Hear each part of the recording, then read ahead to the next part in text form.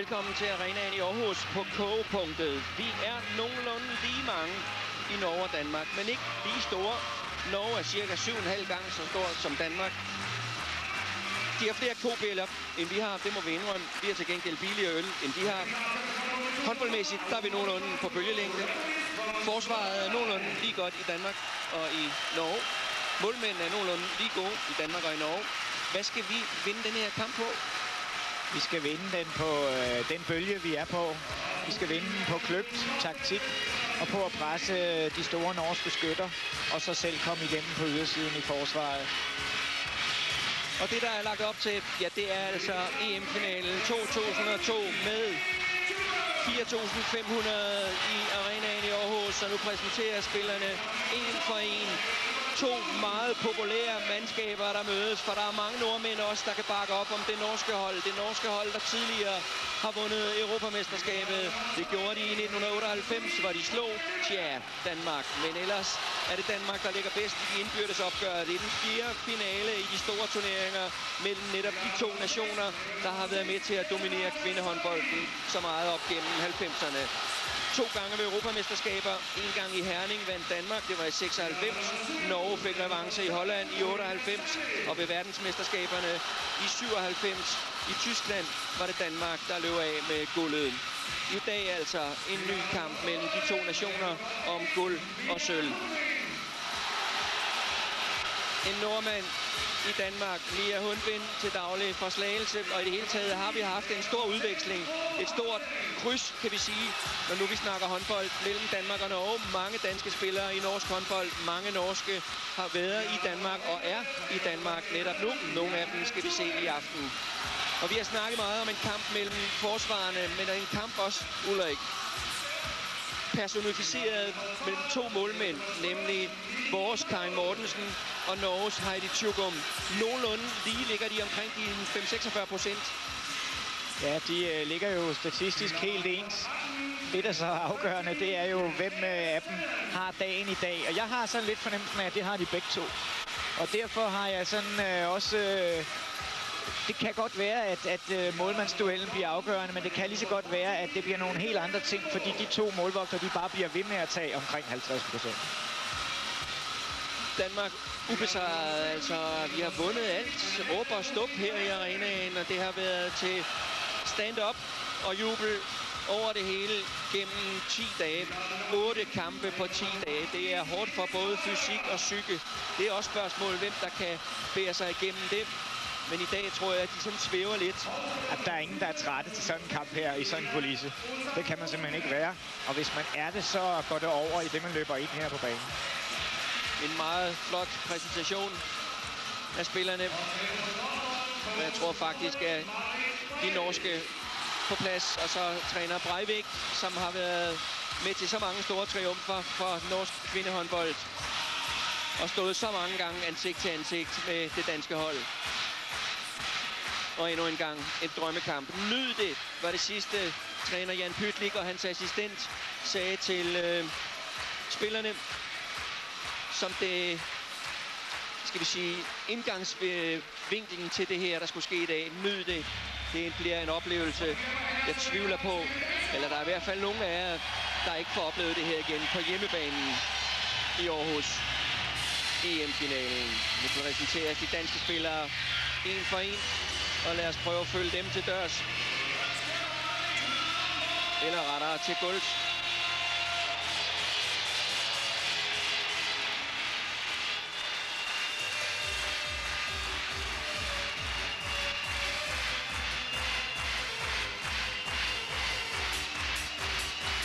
Det er naturligvis meget store forventninger, der er skruet op hos tilskuerne her Og fra en ende af, Lene Rantavik, Ransala, undskyld, fra norske Larvik. Hun har ikke spillet så meget, men har haft utrolig stor betydning. Hun har givet Karin Mortensen tryghed. Det er en utrolig opbakning fra Ransala. Forsvars og Lene Ransel er jo også den eneste spiller, danske spiller, der i øjeblikket spiller i Norge. Hun har spillet der i mange år, så hvis Karin ikke har en af sine bedste dage, så tror jeg ikke, det vil være særlig farligt at sætte Ransel ind her. Hun kender om nogen de norske skytter. Ditte Andersen så vi lige, som øh, fra GOG har spillet meget stærkt defensiv i den turnering her. Anføreren Mette Vestergaard.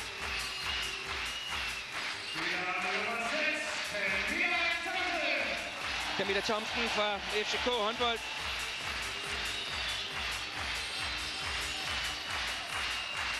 Og også har gjort et stort stykke arbejde forsvarsmæssigt.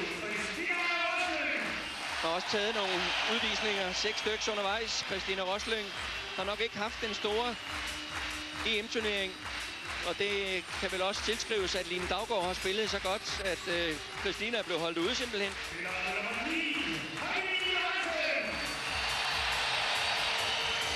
Heidi Johansen blev lidt småskadet i semifinalen i går mod øh, Rusland, men er fit for fight.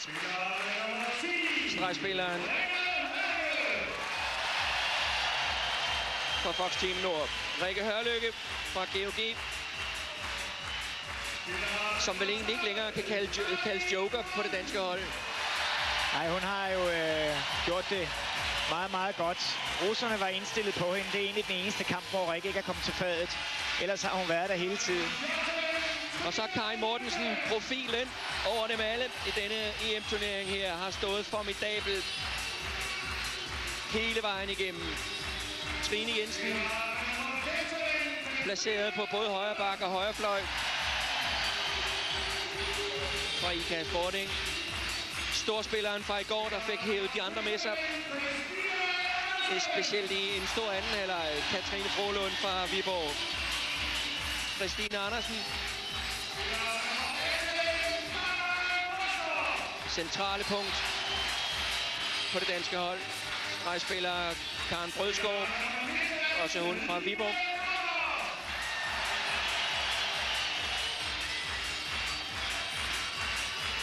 Sofie Daggaard. Og hun er også med en formidabel kamp i går. En stor turnering alt i alt. Og endelig her Josefine Torej. Og mestertræneren, som har gjort det meget flot i denne turnering, med, med stort overblik og med meget sikkerhed i sine dispositioner. Jan Pytlik.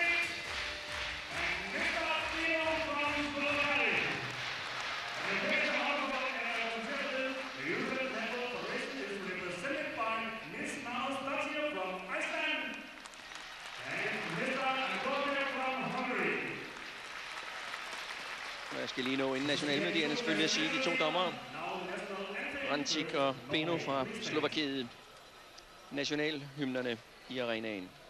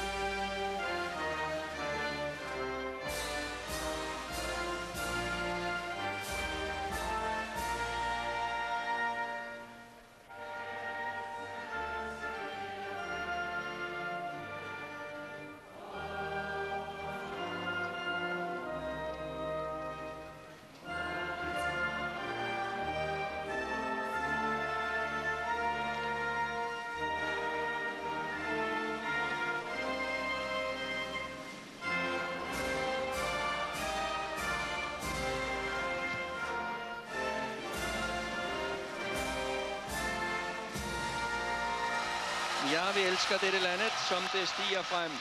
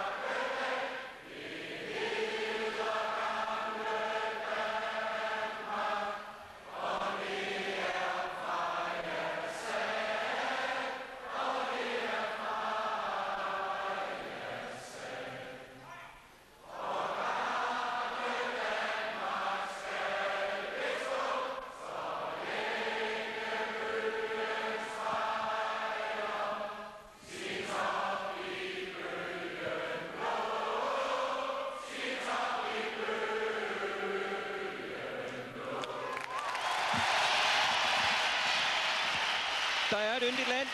God aften, Danmark. Vi er klar til kampen om gulvet.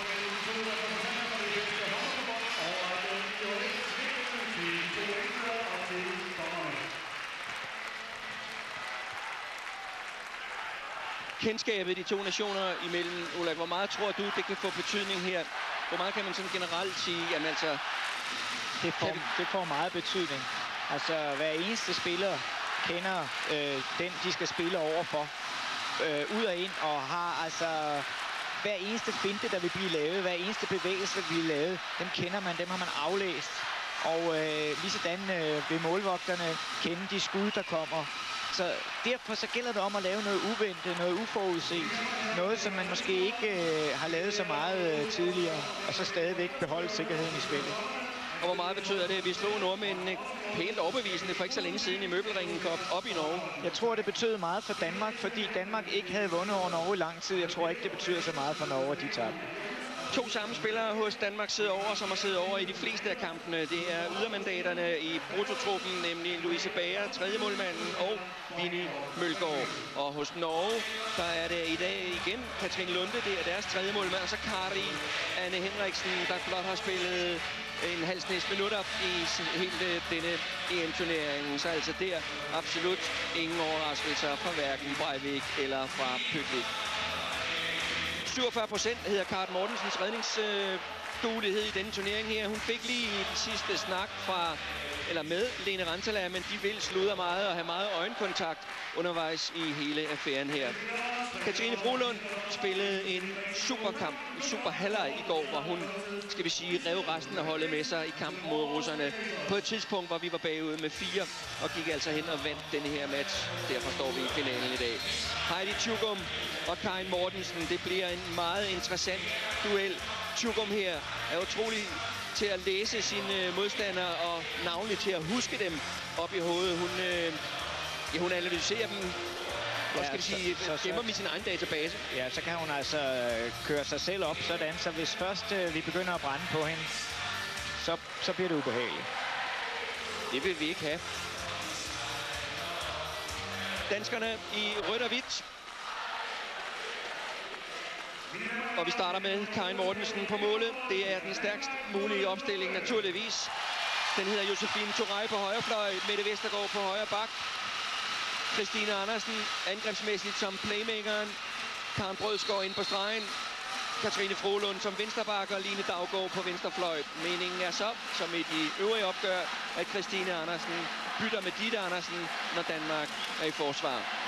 Nordmændene havde to muligheder op til den kamp her. Enten at dække en, flat, en flad 6-0'er, eller gå op og være meget aggressive over for de danske spillere.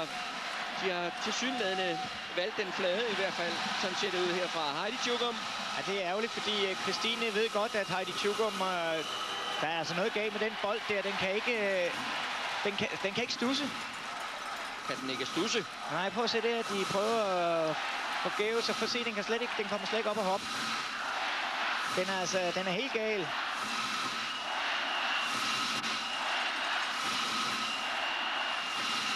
Man kan godt se, at Line Daggaard så meget forundret på den lille runde der, men øh, det er den, vi spiller med altså nu. Christina Andersen, Mette Vestergaard kommer der. Rolund. Og så Josefine Torej. Ja, det jeg var ved at sige før, det er, at Heidi Tjugum, hun er meget god i bunden af målet på Christine Andersens skud.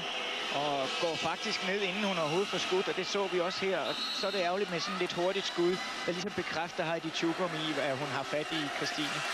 Tætte kamp ind på stregen.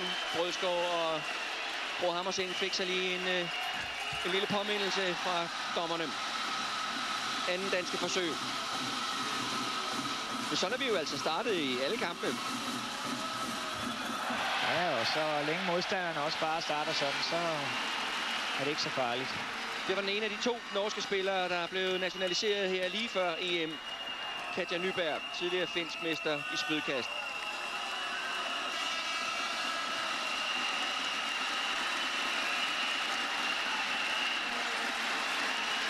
Angrebsmæssigt masser af pladsskifte, har Jan Pøtlik sagt. Så de norske forsvarer står over for nye ansigter så tit som muligt kommer bakovergang fra Katrine Frohlund, og så efterfølgende indspil til Karen Brødsgaard. Danmark er i gang. To minutter spillet. Karen Brødsgaard. Og den kom lige akkurat ind over målstregen. Her en klassisk øh, aftale, som Danmark har lavet meget, hvor det altid, næsten altid er Mette Vestergaard, der finder stregspilleren.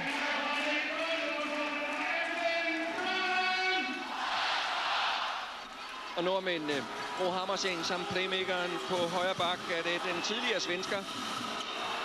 Lina Olsson Rosenberg. Og der kommer så Katja Nyberg. Forsøg fra Rosenberg. Oh. Og scoring fra stregen netop ned mod endevæggen, hvor de norske tilhængere sidder. Else Marte Sørli. Det danske... Jeg spurgte landstræner Jan Pytlik i går, kunne du øh, finde på at dække 3-2-1 mod nordmændene, det de ikke kan lide, pres dem? Kunne, det, kunne du tænke dig det? Og så sagde han, ja, det er jeg helt klar på. Øh, hvis de øh, kommer til fadet, så går vi frem, og så presser vi dem.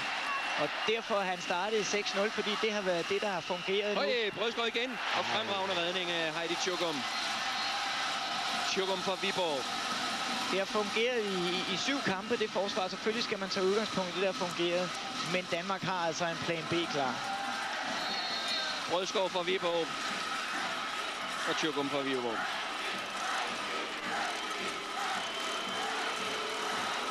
Og fløjene hos nordmændene, det er Monika Sandve på venstre. Og ikke Mia Hundvind. Og derude på højre kanten, ja. Karin Mortensen, Janne Thyven. Mortensen fra ikast mod Janne Thuven fra ikast. Ja, det bliver nogle herlige dueller, det her. Og, og det er altså meget, der tyder på, at det er målvogterne, der vinder. De er, deres kendskab er, er godt øh, til spillerne, og de er så højt op at køre, de her to målvogter. Hammersing. Godt fanget det danske Så skal forsvar. vi afsted. Karin Mortensen op til Line Daggaard. Det er godt altså hentet, godt det der. det der Nyberg. Katja Nyberg, 1,82. Og hurtigere springstyrke ser vi. Mortensen igen. Ja.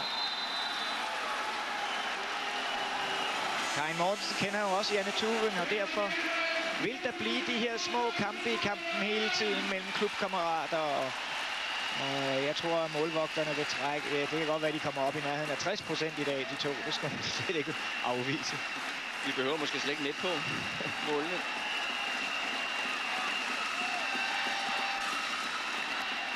Indløb fra Line Daggaard. Mette Vestergaard. Og Tjukker.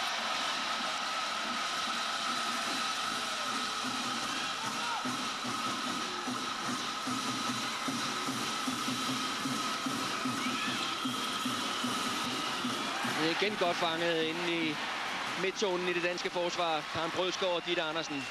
Mette Vestergaard. Ditte Andersen. Oj, et smæk, og det er ikke normalt, hun er med angrebsmæssigt i den her turnering. Det har været meget få minutter, men sådan et smæk her. Det er det rigtige valg, hun tager her. Og så opad med den. Der får nordmændene slet ikke presset Ditte Andersen i skuddet, og så har hun altså et meget stærkt skud.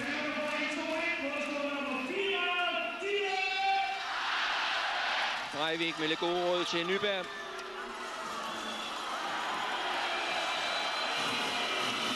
Hammerseng Rosenberg. Der kommer Sandve.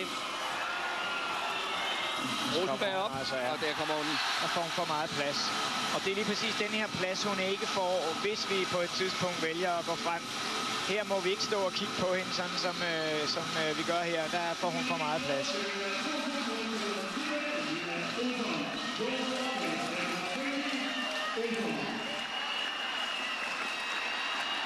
Lina Olsson Rosenberg har spillet meget, meget stærkt mod defensiv forsvar og har været helt væk, øh, når der har været offensiv forsvar.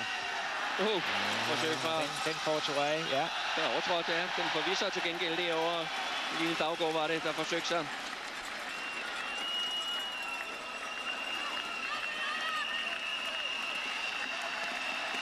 Rolund, Christine Andersen, Mette Vestergaard. Og det er godt, Ja, det er godt. der. Det får hun straffekast på. Ja. Der får hun altså kørt uh, Setham helt væk i forsvaret. Finder hun går ud af, og det er Setham med på. Og så går hun ind af i stedet for. Og trækker også en advarsel til nummer 6, Else Marte Sørli. Første danske straffekast. Nu skal den altså bankes ind, den her. Oh, ja. Vi får den igen. Ja, Christine Andersen i anden omgang.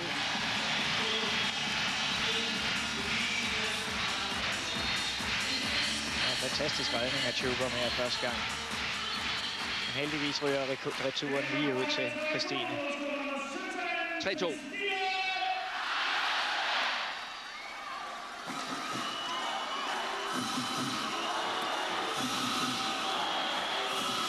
Sandven. Nu kommer Rosenberg. Kommer vi bedre frem og støde der, men øh, så er det til gengæld nordmændenes tur til at komme igennem udvendigt. Med Monika Sandve. God norsk kombination her. Der er, der er Mette Vestergaard ikke hurtigt nok til at, at komme på siden af hende. Der kommer Lena Olsson Rosenberg. Og udligner meget sikkert for Norge.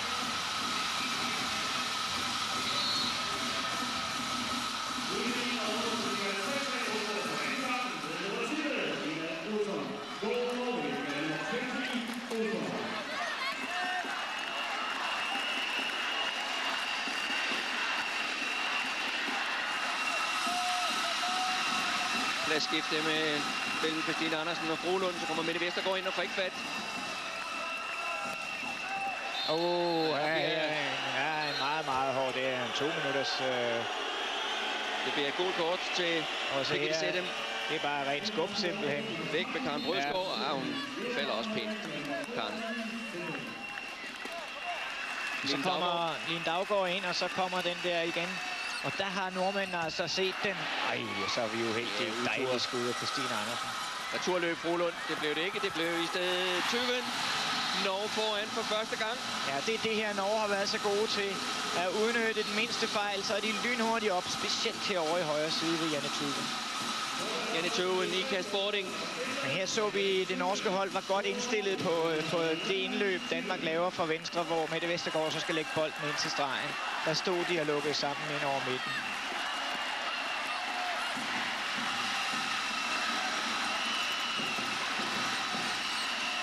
Kommer Frohlund op. Ja, hun er altså et boldværk derinde.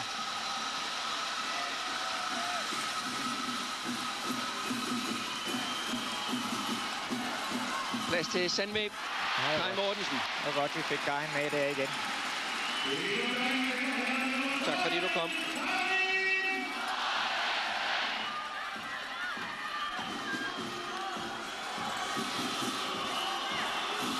Spændende at se, om vores 6-0-forsvar kan modstå det norske presspil, som vi har set her, der har fungeret rigtig godt. Og igen bliver vi altså snydt. Den sidder godt op i nettaget. Afslutningen fra Tuven. Line Daggaard, der bliver snydt af sin klubkammerat Janne Tugen herude. Og det har været øh, overraskende godt norske angrebsspil, vi har set indtil nu. Og øh, vi skal ikke vente ret længe efter min mening på at gå frem og presse dem, fordi øh, når de kører så godt her, så, så skal vi frem. Vi har skiftet ud på venstre bak. Rikke Hørlykke er kommet ind i stedet for Frohlund. Christine Andersen, så kommer Mette Vestergaard. Der ligger Rikke Hørlykke. Og så ligger Mette Vestergaard. Der. Nej, de er fat i der. Nordmændene kontramæssigt. 3 mod 2. Sandve. Og Karin Mortensen går med skuddet fra Katja Nyberg. Ja, det var godt, at hun fik taget det der lidt presset skud der. Og så holdt presset der. Ja, nu rolig, rolig.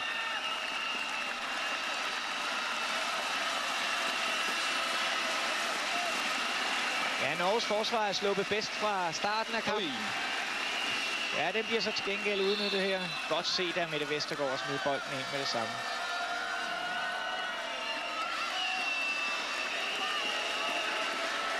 Christine Andersen igen kommer Mette Vestergaard.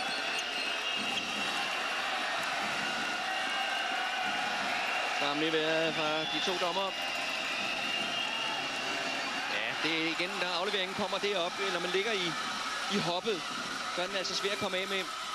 Men de er, Og også godt, de er også godt forberedt, nordmændene. Sandve og Kai Mortensen. Den er dansk. Altså en mærkelig bold, der ligger på den måde. Sådan ser Så godt grebet her. Yep. Ja, fremragende. Godt set af Christine Andersen. Fremragende aflevering af hende hele vejen op igennem banen. Den ligger perfekt. Og Karen Brødsgaard henover. Mærkelig bold øh, stusser ikke rigtigt og triller ikke rigtigt. Øh, ligger død ind i målfeltet hver gang. Frohlund tilbage igen på vensterbakken i forsvaret. Bro Hammerseng. Tuven. Åh, oh, hvor hun Ja. fanger dem med det der smæld, hun har. Ja, vi, vi, øh, jeg synes, øh, vi bliver nødt til at gøre noget ved Lina Olsson. Vi, jeg tror, vi skal frem i det der 3-2-1-forsvar, fordi hun er for giftig i, over for vores 6-0. Lena Olsson, Rosenberg. Det kan være lidt forvirrende, når vi ser grafikken her. Men altså tidligere svensk har boet 11 år i Norge, hvor hun er gift. Og det er derfor, vi har sådan lidt navneskift. Hun hedder Rosenberg. Rikke Hørløk ind og ligge som playmaker. Trine Jensen på højre bak. Kommer Christine Andersen. Ja, det er godt spil. arbejdet af Karen Brødsgaard derinde. Sætter en glimrende screening og en rigtig god, godt indspil. Hun har startet stærkt, Karen Brødsgaard. Se her, Rikke Hørlykke ser det med det samme. Og nyt dansk straffekast. Det er Line Daggaard denne gang.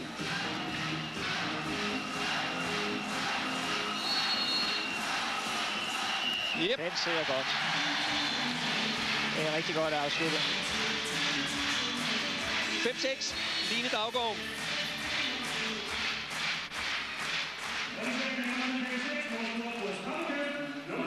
Men øh, 11 mål på 12 minutter, det er en overrask, et overraskende udlæg, at der er scoret så meget, som, som der er. Og at holdene er kommet til så mange afslutninger, som de er. Nu skal de med op. Der er altså plads igen. God bevægelse på det norske Ja, det er der. angrebsspil.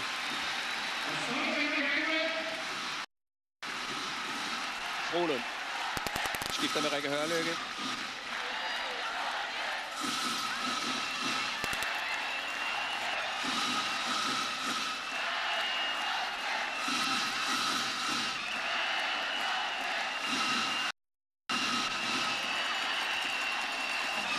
Hørlykke.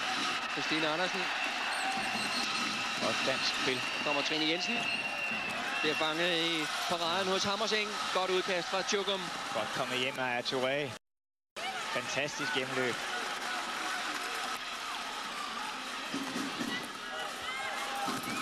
Godt Kai Mortensen. Og så kører vi.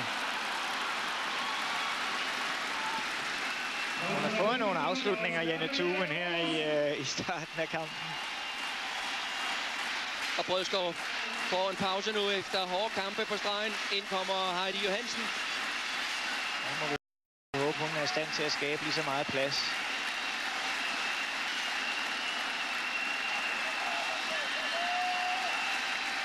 Trine Jensen. Så Trine Jensen her. øh, Ej, oh, det kommer overraskende. Ja. Lille kropvind, det sidestige skift.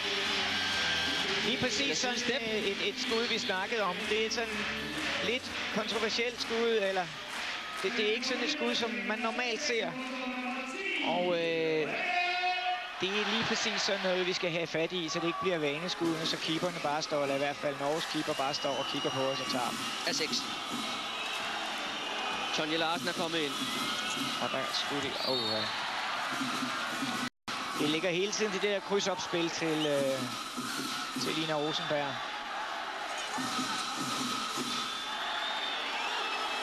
Tonje Larsen med nummer 2. En playmaker der.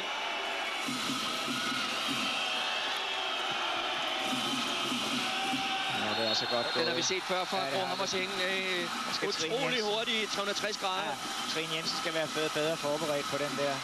Sikke en runddans. Ja, det er fuldstændig korrekt.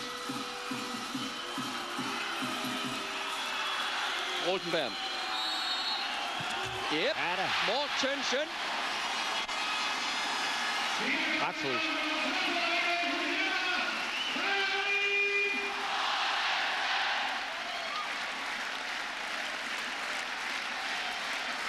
Åh, oh, hvor herligt.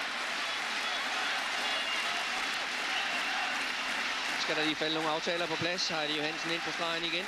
Trine Jensen. Christine Andersen, Rikke Hørlykke.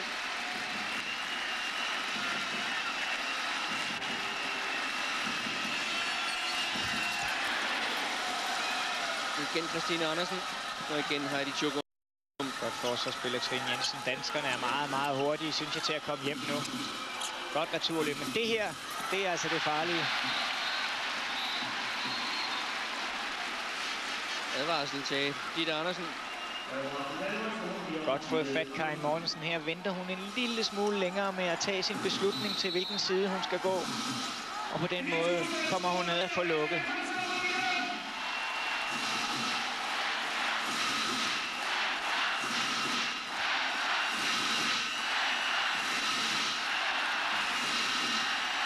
over Trine Jensen.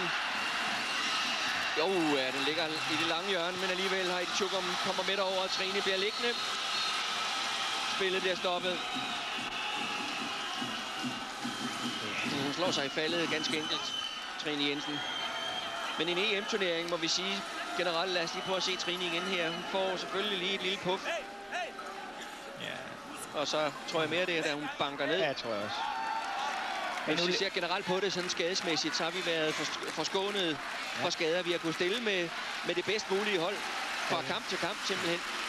Og det er jo usædvanligt, men det har nordmændene egentlig egentlig i det store hele også. Det er de to hold, der er i bedst træningstilstand, der er i finalen. Det er ikke helt tilfældigt. Og, og de to målvogtere, de ligger altså på 60 procent øh, i redningsprocent.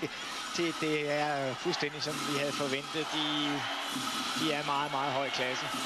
Camilla Thomsen er kommet ind og ligger side om side med Heidi Johansen. Tonja Larsen, Sandvæg, Hammerseng og Rosenberg. Se igen, så er vi der problemer med at drible med bolden. Godt dækket. Ja, og god bevægelse i det danske forsvar også, synes jeg. Og armen er oppe, og der skal falde en afslutning. Tonja Larsen, Rosenberg. Godt kommet ud af Frolund. Ton- Tonja Larsen Ja, Og godt bliver dækket tacklet af Heidi Johansen. Ja. Og Heidi slår sig, men får alligevel taget brøden af skuddet fra Tonje Larsen.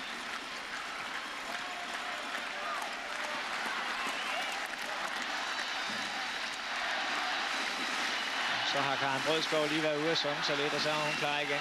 Mere Hundvind er ved at gøre sig klar for nordmændene, som vi lige så det.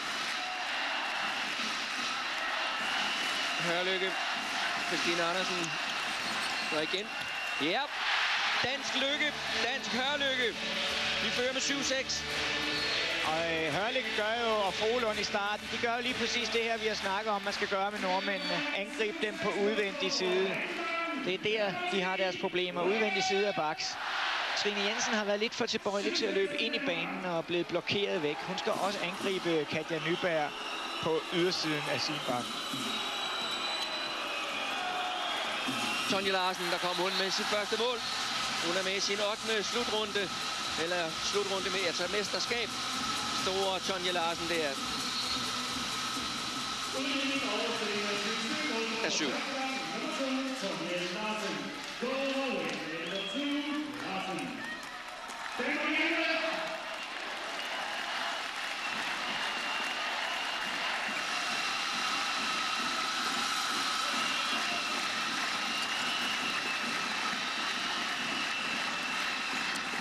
Igen ser vi, der bliver reddet godt i trøjen inden så... Inden på Karen Brødskov på stregen.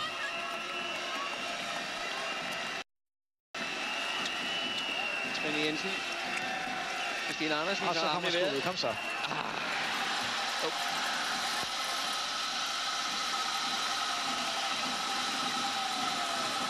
Ja, hun har haft fem skud nu, Christine. Hun har lavet et enkelt mål. Seks skud faktisk. Har lavet et enkelt mål. Ja, det er lige i underkanten. Det skal vi have lidt op, det skudniveau der.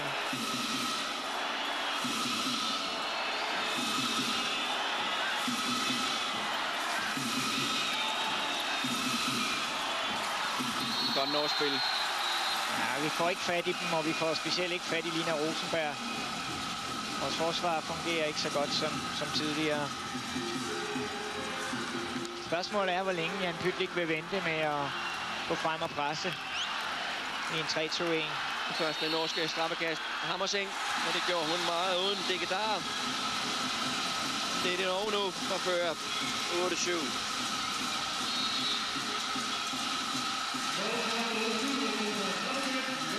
Ja, norske andet straffekast, undskyld.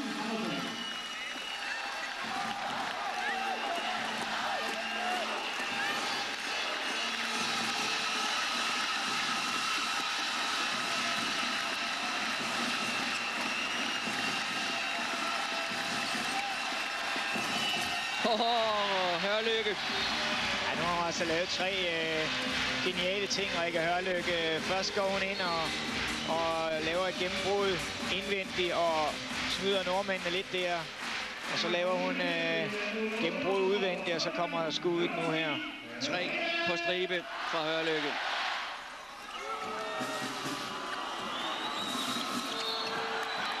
Camilla Thomsen, der hænger på Tonja Larsen. Og hun balancerer jo altså hele tiden på kanten af gul kort, eller to minutter, Camilla Thomsen.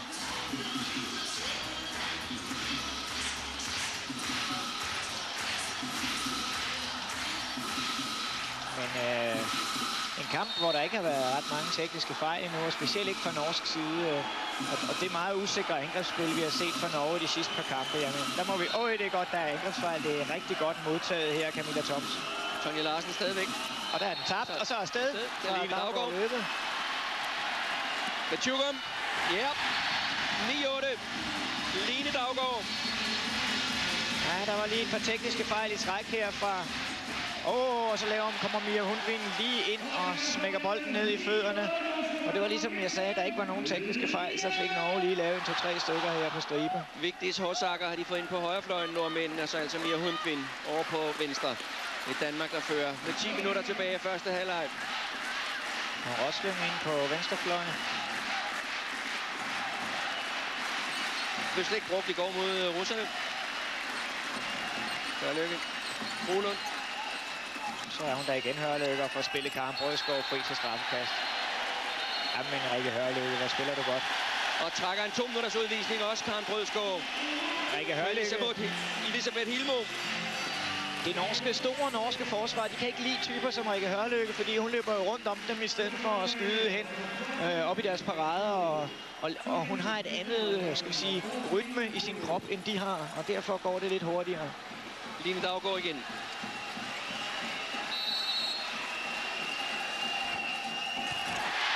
Men nu er vi også ved at få prikket hul på Tjukum. 10-8. Et stykke tid siden, hun har, hun har scoret. Uh, hun har haft en redning. Tredje mål fra Line Daggaard. Ud til det rygklap på bænken. Christina Rosløng tilbage på venstre fløj.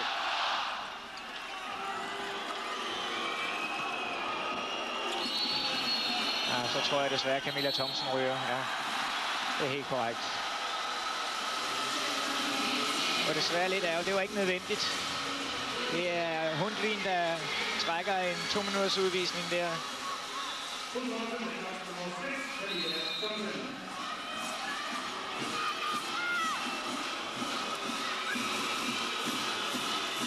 Mia Hundvind. Tonje Larsen godt kommet ud af Brødskov. Og så er der plads. Øj, den, Men også på stolpen. Forsager. Så er det Danmark. 24 Ind med Hørlykke igen. 5 mod 5.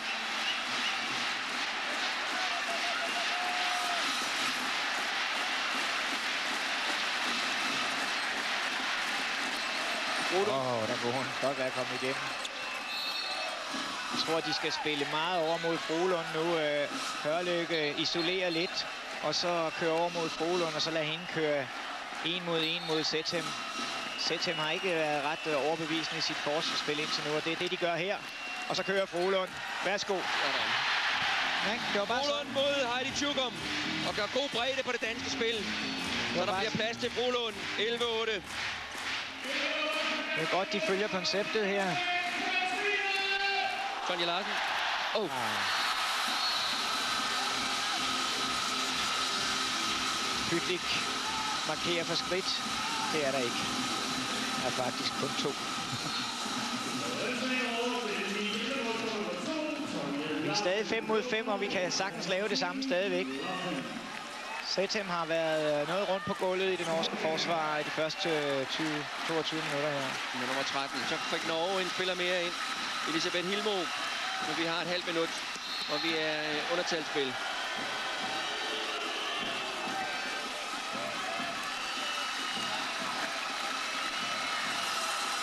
Kommer Josefine Touré i undertalskombinationen, som Danmark kører. Godt grebet her, den var langt ude.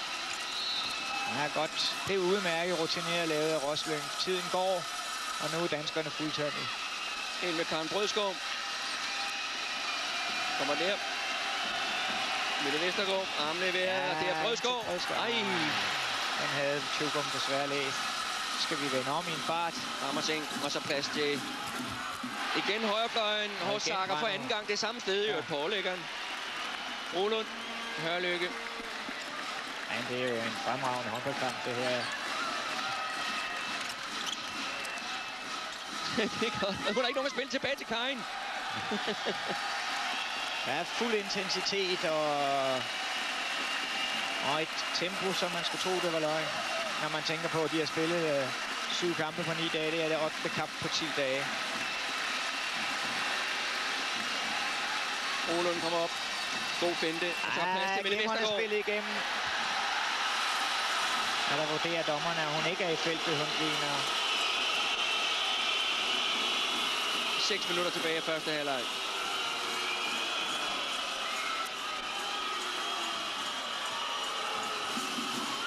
Pause til Horsager og ind igen med Janne Tjøven på højre fløjen.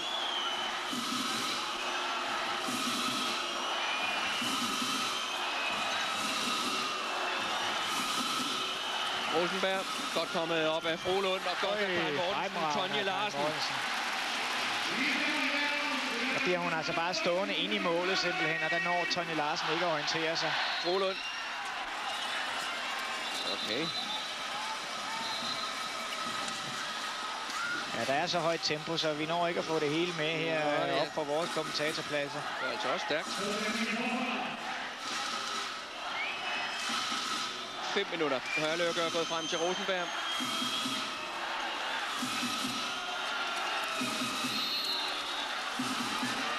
Også for at stresse hende lidt, fordi hun har nemt ved at få lidt nerver på.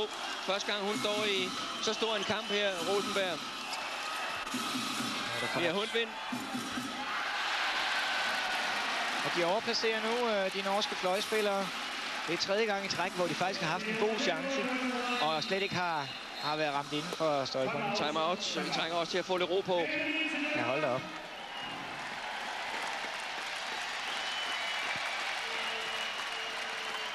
Hør lige her. Når Hilmo dækker i midten og sætter dem herover, vi kan simpelthen ligge og køre på dem hele tiden. Rikke og Frue, lav de der, hvad hedder det nu, øh, pladsskifte, returbold, pres, eller gør det meget bredt. Kang bliver over på øh, venstre træer. Alene med Hilmo, meget bredt. Ved I hvad, vi kan spille dem rundt der hele tiden, vi kan. Det er det, vi skal gøre med det. Lidt mere blyersig, hvis vi kan, ikke også? Øh, forsvarsmæssigt. Læg takkerne højere op. Sørg for at gøre færdig. Det er Tonja Larsen, der skal trække hele læsset, ikke også? Så bare klar på gennembrud. Øh, Gro Sammersæt, det er gennembrud over med det, ikke også? Okay? Ja, det Pytlik siger, det er jo altså stadigvæk over ved Sætte i forsvaret, og så er det Tonja Larsen, der skal gøre det store arbejde. Satt på de største hos nordmændene. Det betyr at Mia og Gro må fortsatt skyve,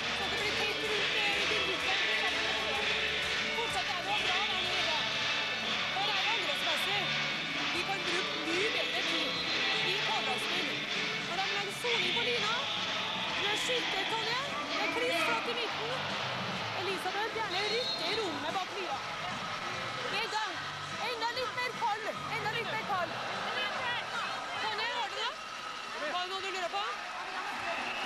Ja.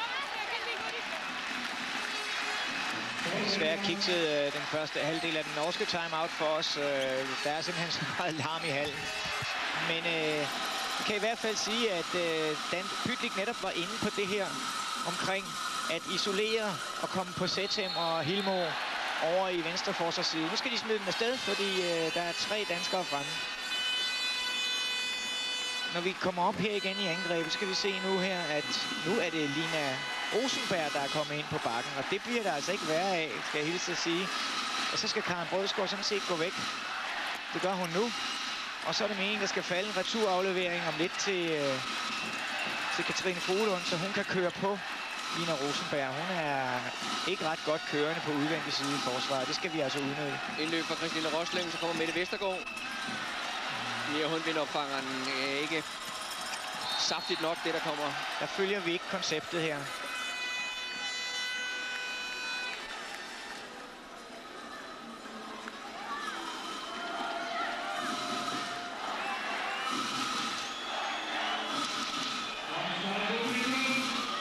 Tre minutter resterer der øh, første halvleg. Tonje Larsen, Rosenberg, det dansk. Og så afsted. Modsat. Vi skal være lidt mere modige i den her kontrafase her, fordi vores, begge vores fløje er altså afsted. Hørlyk ind i stedet for Heidi Johansen, og så skifter Josefine Torej med Trine Jensen.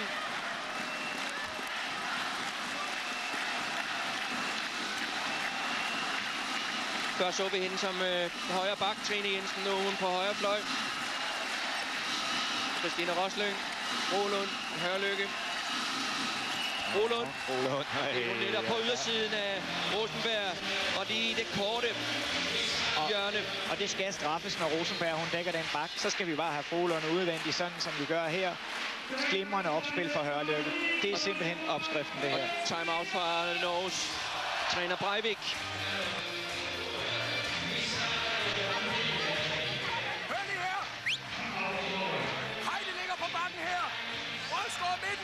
Hør forsvaret. Så gør vi det. Sørg for at spille bredt igen. Rikke, Frode, Karen. Nu spiller vi yderside. Indspil yderside på Hilmo. Returbold, screening yderside. Indspil. Ja, kryds retur, indspil. Men, men, men, men, byt op først. Lille bevægelse på. Ja, lang længde. Okay. Skal jeg høre,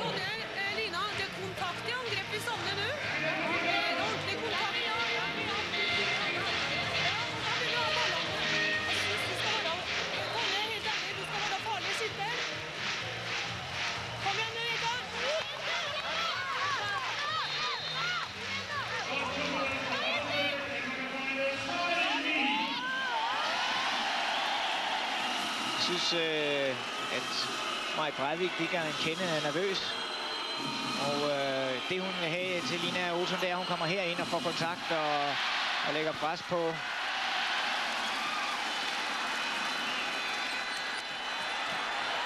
Ja, ej, straffekast i hvert fald. Får vi, jeg tror også, vi trækker en udvisning. Det gør vi. To minutter til Tonje Larsen.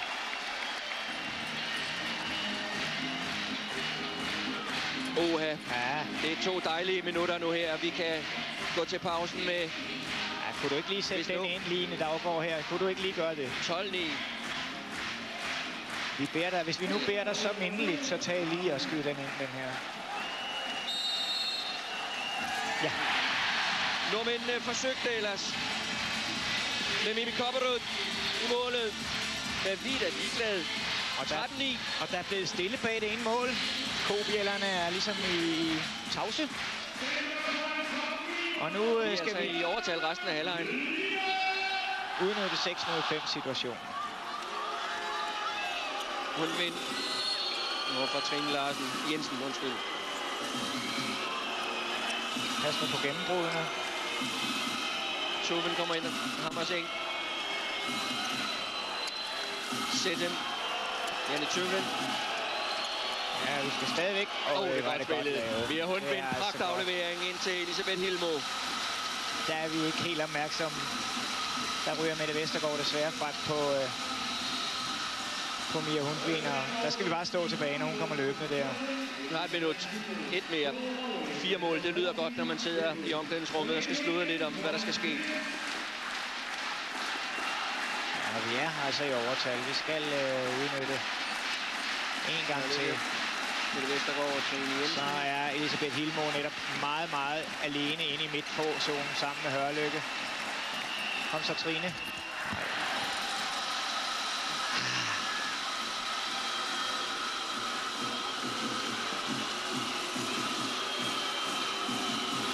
Skal vi passe på ikke at blive så defensive, så de får fyret et skud afsted mere her.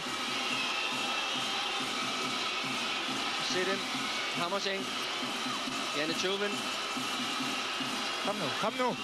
Åh, Ah, vi bliver for flade herinde i forsvaret. og For Søren, vi taber 2-0 i den Nordmændene her vinder den her ja, overtagssituation. 2-0, og der er pause nu. Danmark går til pausen. Førte 13-9 og havde en norsk udvisning, altså i overtal. Nu står der 13-11 på tavlen, og pause efter en hektisk, intens og meget velspillet første halvleg. Ja, bestemt. Øh, men bare en død ærgerlig afslutning her, fordi øh, vi havde virkelig fat i dem. Men øh, det tror jeg også, vi har i anden halvleg. Jeg tror stadigvæk, vi har muligheden for at gå frem i øh, offensiv forsvar, hvis øh, nordmændene kommer for, for tæt på os. 13-11. Puha. For en første halvleg. Vi spiller om guld i arenaen og er tilbage naturligvis sammen med spillerne. Der går lige omkring 10 minutter.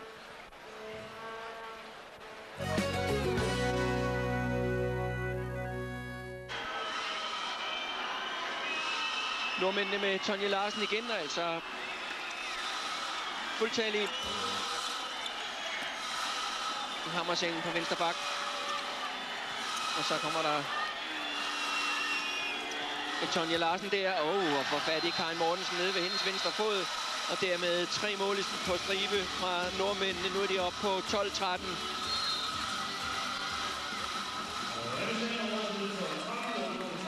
Danske opstilling med Karen Brødsgaard ind på målet. Josefine Torej på højre fløj, Mette Vestergaard, Rikke Hørlykke og Katrine Frohlund er bagspillerne og Line Daggaard til venstre. Rikke Hørlykke, tre mål i første halvleg lavede hun. Frohlund, Mette Vestergaard, tre skud uden mål. Lidt for tyndt indspil, vi er heldige der, men den rammer foden på en norsk spiller.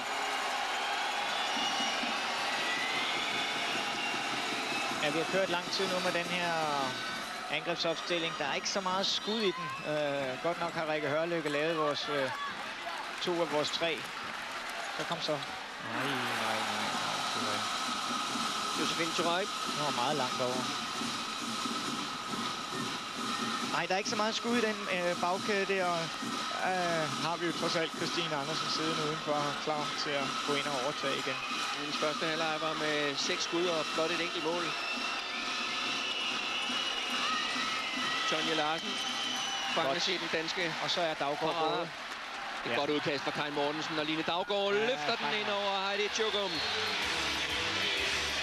Der kom vi frem og fik øh, lavet paraden og straffet nordmændene. Femte mål for Line.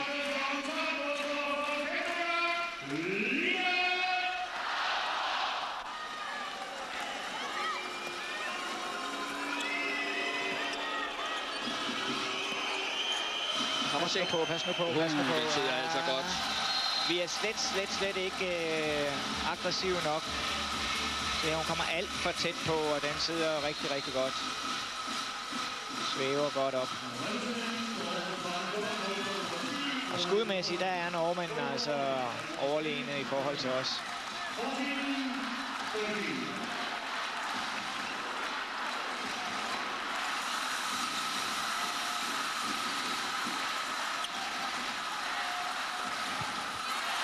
Karen Brødsgaard opfanger den. Og så er der straffe. Ja, det er godt. Meget vågent af Brødsgaard, men forsøg igen fra Mette Vestergaard uden bid i.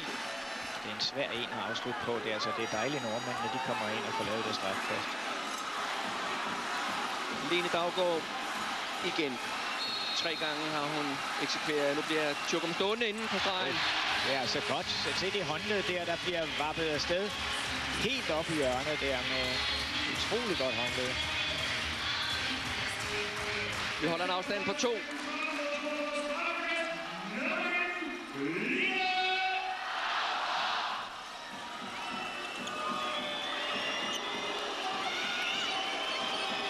Sonja Larsen. Og oh, de arbejder derinde. Både Brødskov og Frohlund.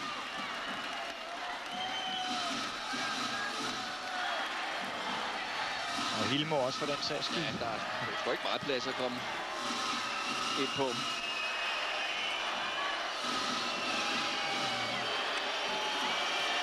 Bro Hammerseng. Brødsgaard lige ud og hilse på hende. Åh, Nej, der var vi lige ved at få fingre i den. Det gør Karin Mortensen til gengæld.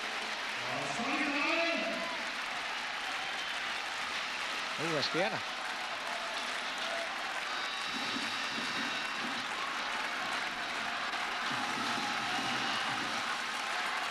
Passe på, at vi ikke bliver bange nu. Det er så ligesom Hov. Kolund, hun er lidt rundt på gulvet nu. Og øh, virker sådan lige lidt bange for at aflevere nu. Vi skal jo passe på, at vi ikke bliver bange for at fuldføre vores kontra. Hende her, hun er ikke bange. Hun er aldrig bange. nej. Hun løber uden hjelm direkte ind i muren. Nej. Får vi et ikke, ikke uheldigt frikast her?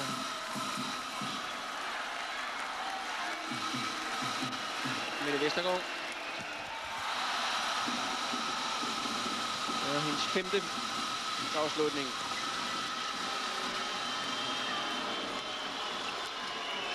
Oha, det danske forsvar er splittet af, men vi redder den. Kom så, kom så fat i bolden nu. Nej, nej, nej, nej, nej, nej. Vi ikke sidder og kigger på den. her. Hammersing. Ja, det var skidt. I stedet reducering til 15-14. Oh, ja, det var en dyr en her. Vi ikke, nogen er ikke, en, ikke er en af dem, der får kastet sig ind over bolden.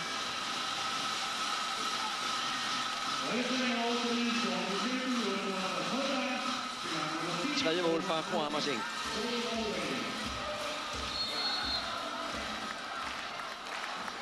Og de fleste fejl her, de bliver altså straffet ubenhørligt.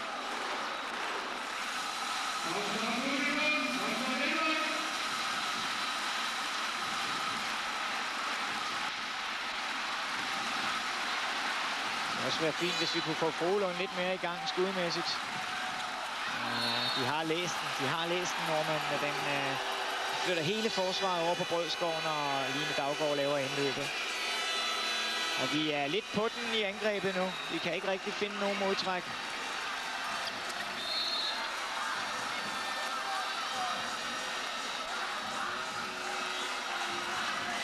Nu tror jeg snart, at armen kommer op. Det gør den nu. Det er godt Brødsgaard. spillet. Straffekast. Jeg tror, hun har trukket 5 eller 6. Ja, der har hun har spillet en meget, meget stor kamp, Karen Brødskov, men de har også været gode til at spille den ind til hende. Det er altså Rikke Hørløb igen. Kan hun en gang mere, Line her? Rødskov, der er gået glip af tre slutrunder på grund af skader, og var lige ved at gå glip af denne her også. Tag her er det Line Daggaard. Nordmændene ind med deres reservemålvogter, Mimi Kopperud, som altså snuppede det andet danske misbrugte straffekast. Lige i øjeblikket, der står kampen og vipper lidt den forkerte vej. Vi har det meget, meget svært ved at komme igennem, og nordmændene har forholdsvis øh, nemt ved at komme til skud mod os. Sonja Larsen.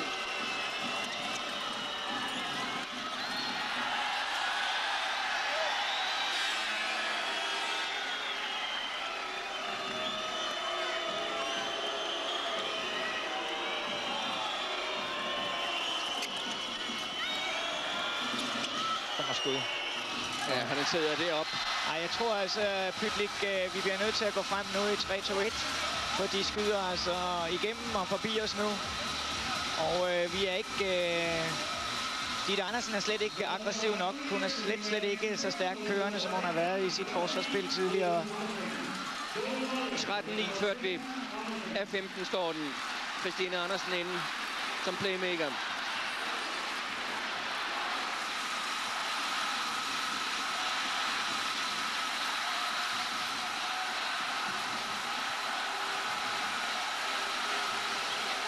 Rolund, Mette Vestergaard. Nu kommer armene op igen. Ja, de er, jeg fat, de er meget, meget godt fat i os, og ingen af de, vi spiller sidelæns, ingen af de danske spillere tør rigtig løbe ind mod mål nu. Kom så, afsted med skud. Kom nu, afsted med skud. Skal komme. Der er ikke så meget at gøre. Vi skal afsted armen op, og vi skal afsted en gang til. Vi har et opspil nu til Christine Andersen, og så må hun lappe den afsted og spille den ind. Kom nu. Rolund op.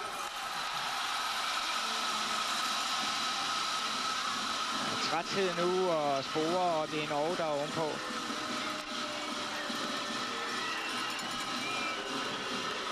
Sonja Larsen. Godt dækket af Heidi Johansen. Og Josefine rører to minutter nu. To minutter til Josefine Torej. Trukket af Mia Hundvind.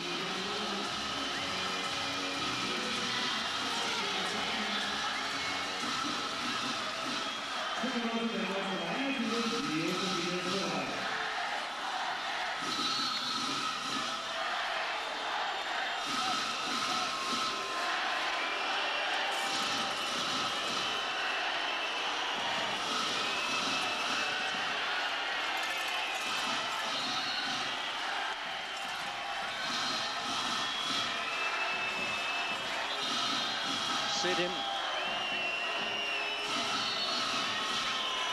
Hammerseng.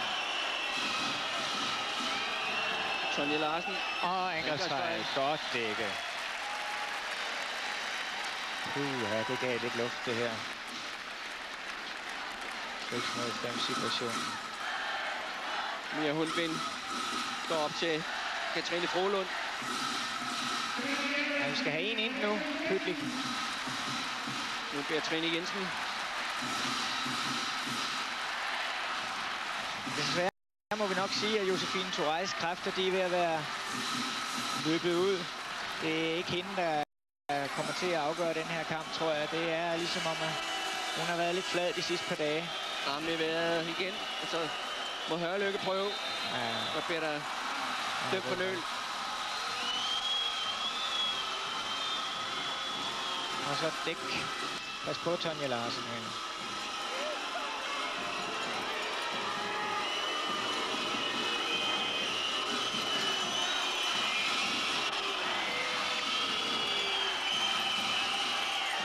Janne Tjøven. Oh, ja. Uh, ja, de kører lidt mere i øjeblikket. Nordmændene øh, 16-15 fører de nu. Vi har lavet to mål på godt 10 minutter i denne anden halvleg. Ja, altså det nordmændene har gjort, det er, at de har sat Birgitte Sæthem over på højre bakke i angrebet, i stedet for Lina Rosenberg. Det har givet helt andet tempo i deres spil. Og samtidig har de fuldstændig luret danskerne af nu. Vi er, vi er meget, meget langt fra at score i hver eneste angreb. Vi kan faktisk ikke engang komme til, til afslutninger. Danskerne er fuldtallige. Karen Brødsgaard ind på stregen. Rolund. Og lige nu mangler vi, øh, mangler vi øh, skytter. Og der kunne det måske være en joker at tage Ditte Andersen ind og prøve hende. Heidi Tjugum. Sonja Larsen. Ro, undskyld. Hammerseng.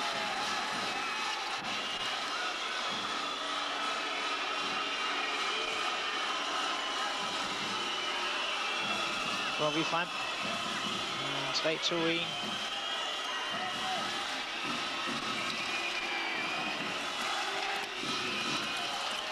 Vi har Hundvind. Godt dækket. Ja, vi skal videre. På, Froler. På. Ja, Ja da. men et lykke og en lille smule held. Rolund Tror du ikke kun øh, 16. Tror du ikke det mål var det, der lige giver det, øh, der mangler fra i går af der, så hun lige tager sådan 20 minutter mere nu? Lad os håbe det.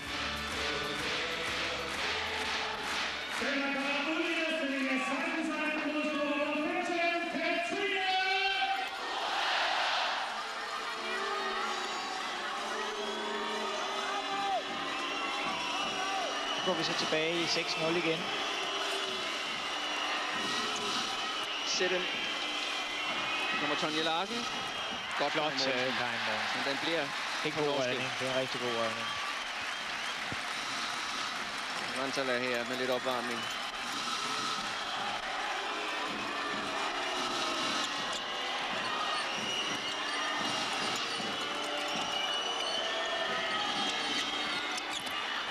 Straffekast. Ja, den er god nok. Rolund står langt ind i feltet.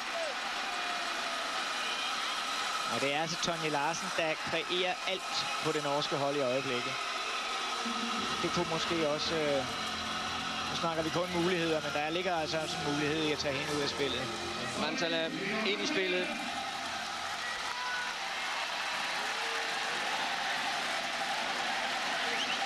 Og det er Bo Hammerseng.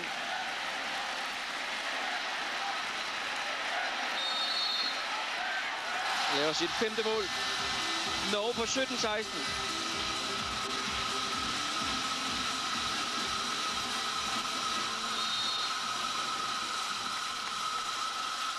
Norge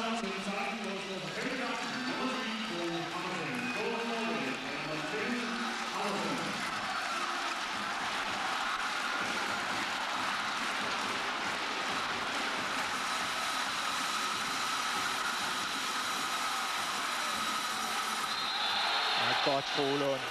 God kombination. To minutter til Elisabeth Hilmo. Ja, der er noget, der tyder på, at det er Folund, der skal ind og, og hive det her hjem, hvis vi skal, hvis vi skal lykkes med det.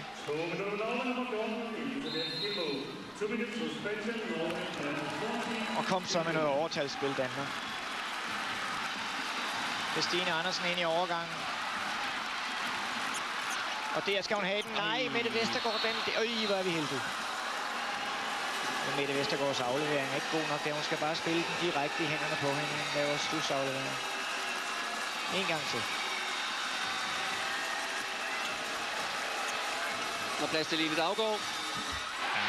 Vores store spiller igen i dag laver sit syvende mål. Line Daggaard 17-17.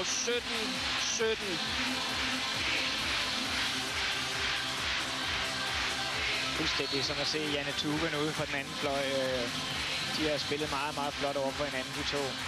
Kom så, Danmark 6 mod 5. Pres dem lidt, så de ikke kan få lov at skyde udefra. Nu ligner Rosenberg inde, så ville det altså være meget, meget fristende at gå lidt frem. Og prøve at trække nogle Hammerseng. fejl. Rosenberg. Bro Hammerseng. Ja, Ja, og så afsted. Og højre, venstre, Afsted, venstre, venstre. Ja, Line Daggaard. Straffekast, og jeg tror, trækker den noget med. Nej, men vi får straffekastet. God redning her af Tjugum, men øh, ja, hun bliver lige slået ud af... Vi prøver igen med Mimi Kopperud. Ja, vi, men, øh, og hvem prøver vi med på straffekastet? Mette Vestergaard. Okay.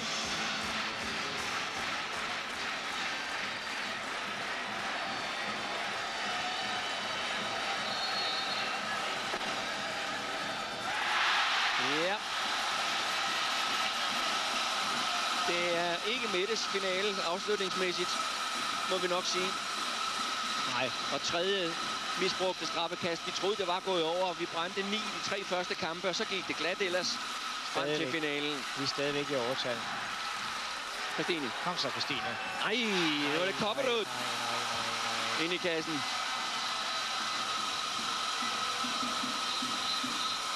Og nu vælger Norge så at lade Kopperud blive stående inde i målet.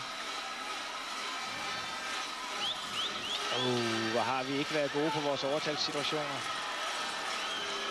Hvad det pussy var, lidt uden for billedet. Det er faktisk en aftale mellem Tjugum og Kopperud, hvornår de føler sig til hvad. Og der bad Tjugum, Heidi Tjugum altså Kopperud om at blive stående. Nordmændene fuldtalige. Sæt dem. Tjøven. Pas nu på Sonja Lars. Larsen. Der er for mange skridt. Skridt, og så er vi Josefine gået.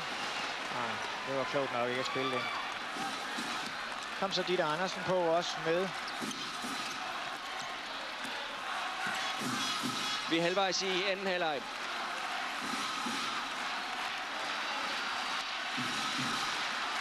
Det er en dyse.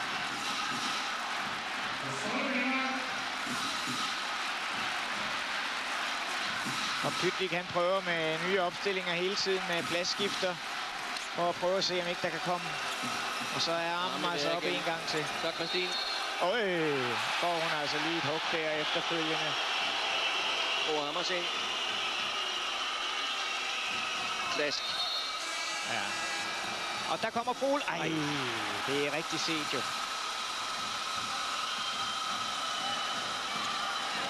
Sæt sætter sig igennem. Norge fører 18-17.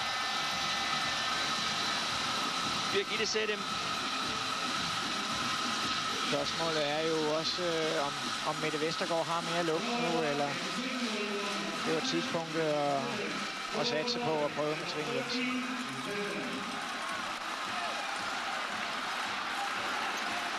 Det danske indløb. Heidi Johansen, det er godt gået, Heidi Nej, Johansen, men hun brænder.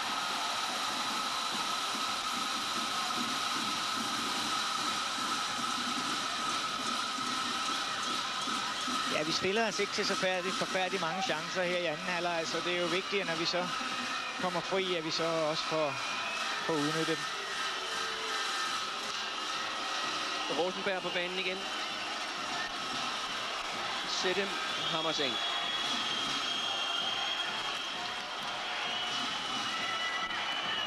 Og den er grebet, og så er Josefine altså kørt.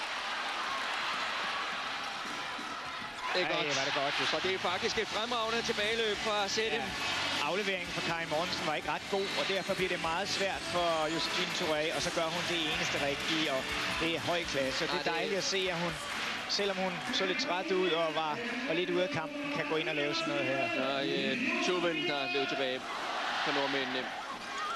Men pyt. 18,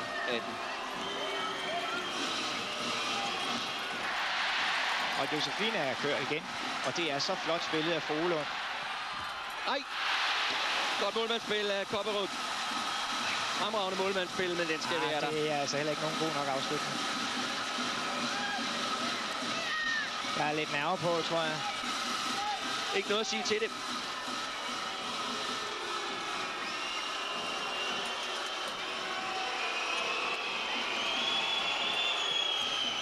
Godt dansk forsvar. Ja, indtil videre, efter en lille downperiode, får vores forsvar op at køre igen.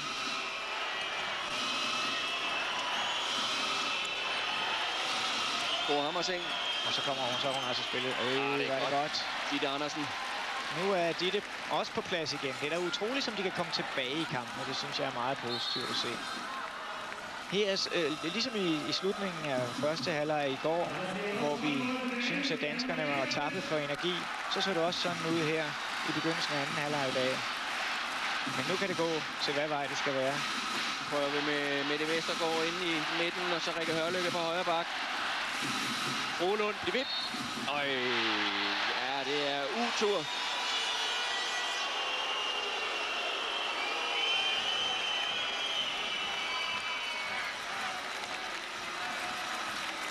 Hørlykke. Ja, det er godt høre, Lykke, det der. Åh, hvor er det godt. Hvor er det godt lavet. Fire mål fra Rikke Hørlykke, og vi er foran med 19-18. Rikke Hørlykke, hun har altså været en fornøjelse i den her finale.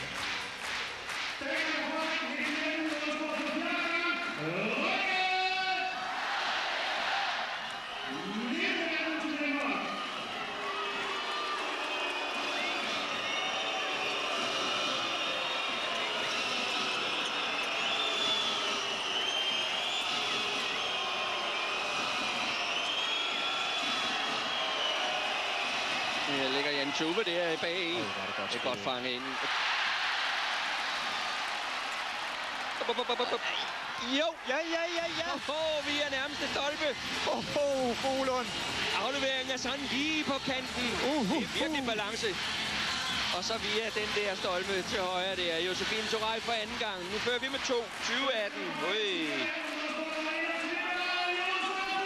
Og nu er Pytlik altså... Arbejder han dernede. 10 minutter igen.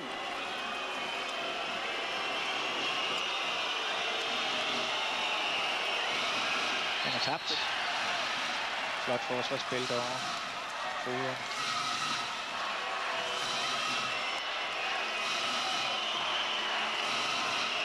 Og vi har altså før i turneringen her vist en moralsk styrke, hvor det så sorte stod ud.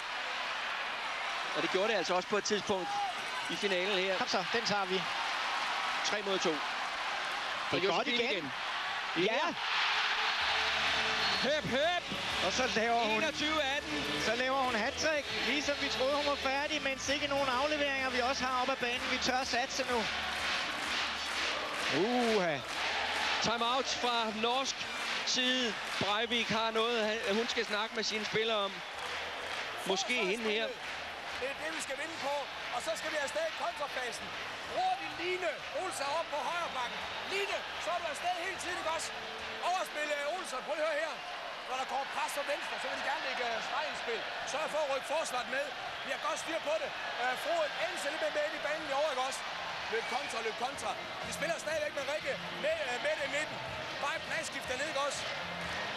Bare spil derud af, Pia. Bare spil derud af. Det er forsvaret, ikke også? Skal vi klikke? Utavviklingen vår ene på å bestemme om vi scorer. Og der kan vi styre. Nå kan vi heller styre inn i spillkonkurransen. Vi setter hverandre i gode situasjoner, så scorer vi. Når vi har en spiller som får til skudd, så må vi sette retur de andre. Ingen feil. Det er tre mål i ti minutter. Kom igjen nå!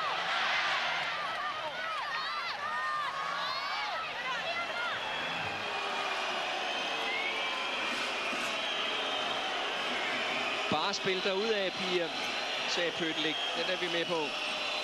Ja, altså hvis vi kigger på statistikken, så har Danmark lavet syv mål på kontra, og Norge har lavet tre. Og det er her, den store forskel har ligget. målvogterpræstationerne har jo været øh, stort set lige gode, eller det har de. Der er reddet lige mange i begge ender. Men øh, Danmark har været skarpere på kontraen. 9 minutter.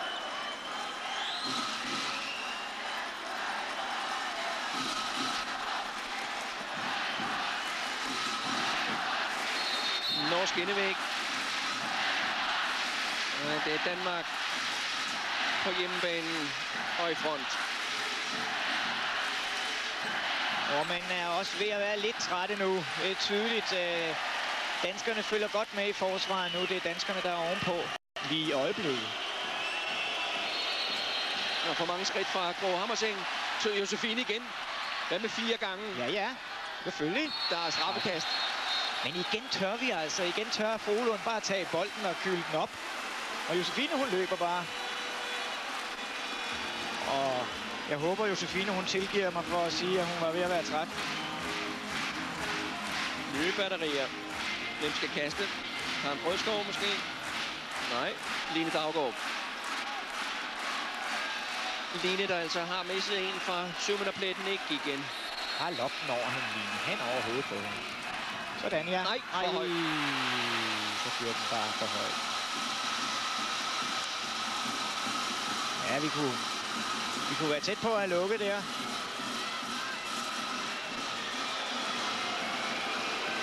Men det er som Pytlik sagde, kan vi bare holde den i forsvaret stadigvæk, så skal kontrachancerne nok komme. Og det er os, der er ovenpå. Det er dem, der skal prøve noget. Den er der. Ej, Flot forsvarsspil. 8 minutter.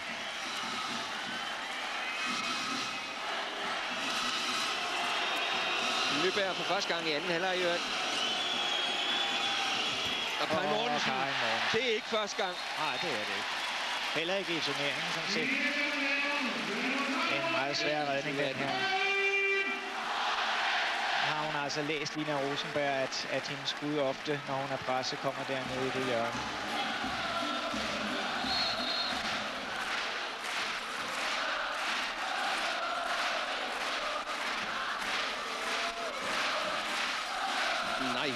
Ville et mål være dejligt lige nu. I det angreb her.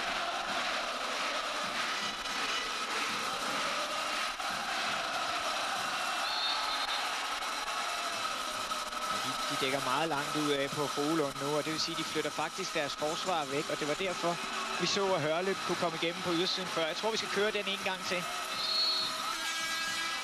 Katja Nyberg her er ikke den hurtigste spiller sidelæns. Frolund, ja, fire mål er vi oppe på. Det er Frolund også. Jeg ved ikke, om det var et, et, det bedste valg, Norge kunne gøre at skifte øh, ind, øh, når, når Heidi Tjukum havde stået så godt, som hun gjorde. Men det var et godt valg for os, tror jeg.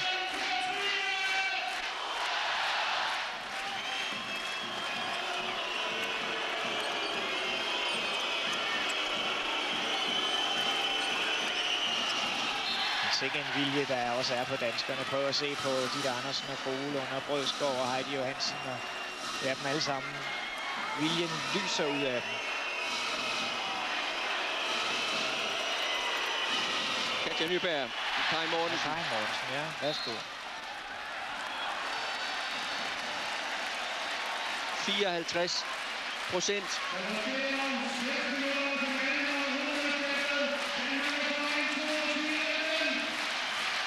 Seks minutter. Kogebladen for fuld blus i arenaen. Sætem går op til Frolund. Mette Vestergaard, Line Daggaard, Heidi Johansen op. Det var lige før, hun smed den ind der mål. Katja Nyberg. Ja, ja, nu er det panikskud. Og det bliver norsk frikast. Og igen Frohlund, Andersen der ind. kaster sig ind her.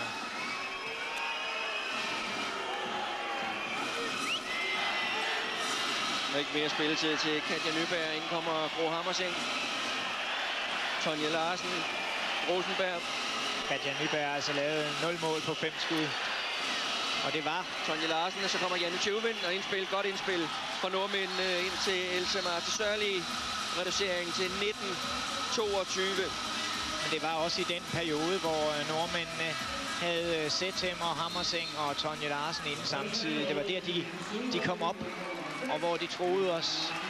Og nu har de så den ind igen, og nu tager nordmændene så ganske fornuftigt Frohlund ud af kampen. Og så må vi håbe, at Hørløb, hun kan være lige så fanden i vold, som vi har set hende før. Mette Vestergaard. Ja, hun kunne Det også. var godt tidspunkt, Mette Vestergaard. Tak skal du have. 23-19. Kaptajnen. Det var altså et rigtig godt valgt tidspunkt, hvis man skal lave et mål i en håndboldkamp. 4,5 minut. Fire mål foran. Jeg tror ikke, det går galt, det her. Tror jeg heller ikke. Janne Tjuven lige ind i den danske Og bare parade. løb, bare løb. Ja, fire minutter.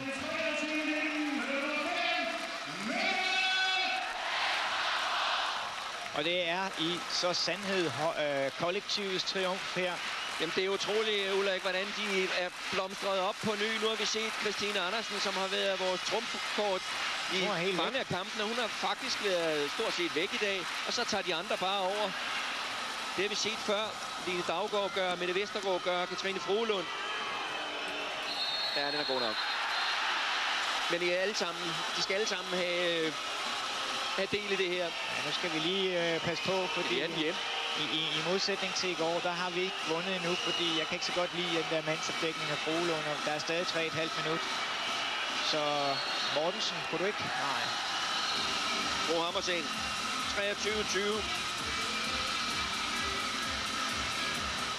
Hydlik har heldigvis øh, stadig sin timeout. Går også og pynser lidt på den dernede og kigger op på uret. Den skal falde rigtigt, men mange af hans valg er faldet rigtigt i turneringen her. Altså, for det første er de alle sammen faldet rigtigt, og for det andet har en vinder altid ret, så der er fuld opbakning. Han har gjort det kanon. Rolund. Og Hørlykke, hun går igennem. 3 minutter og fire mål. Ah, men sikkert. Rikke Hørlykke. Sikke match.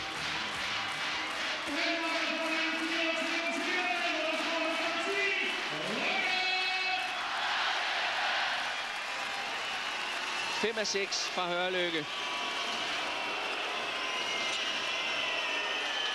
Godt dækket, Josefine. Ja, nu, nu, nu tør jeg godt at øh, fejre det samme med dig, Flemming. Nu, nu tror jeg, at han er der.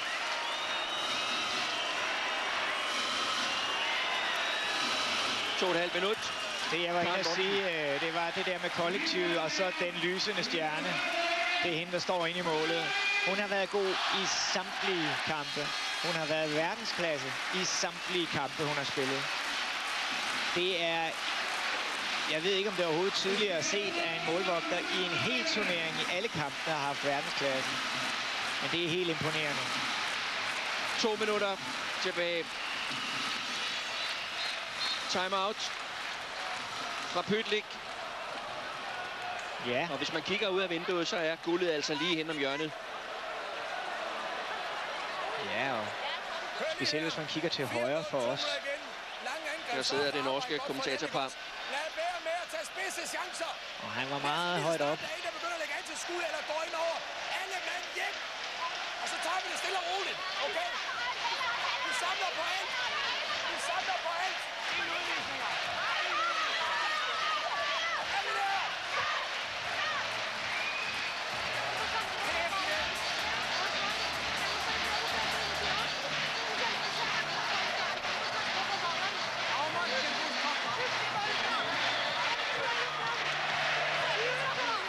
Jeg tror, det er lige meget for os i hvert fald, hvad Ja, hun siger, Breivik Pytlik tager den her for den sidste sikkerhedsnål skyld, om man så må sige.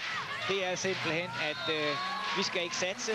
Vi skal løbe hjem. Vi må ikke øh, satse på at løbe kontra. Vi skal bare samle op, hvis der kommer returbolde.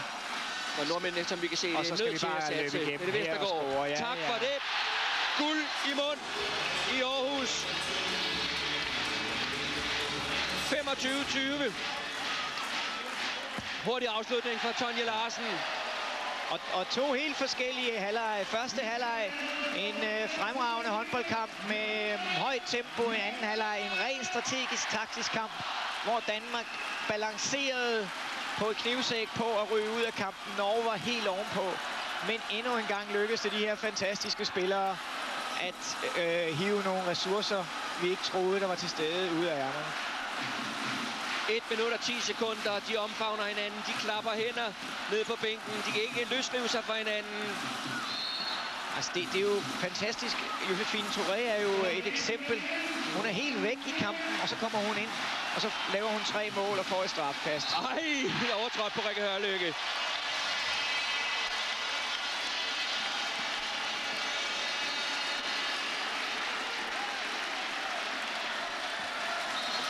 På Dille pynte.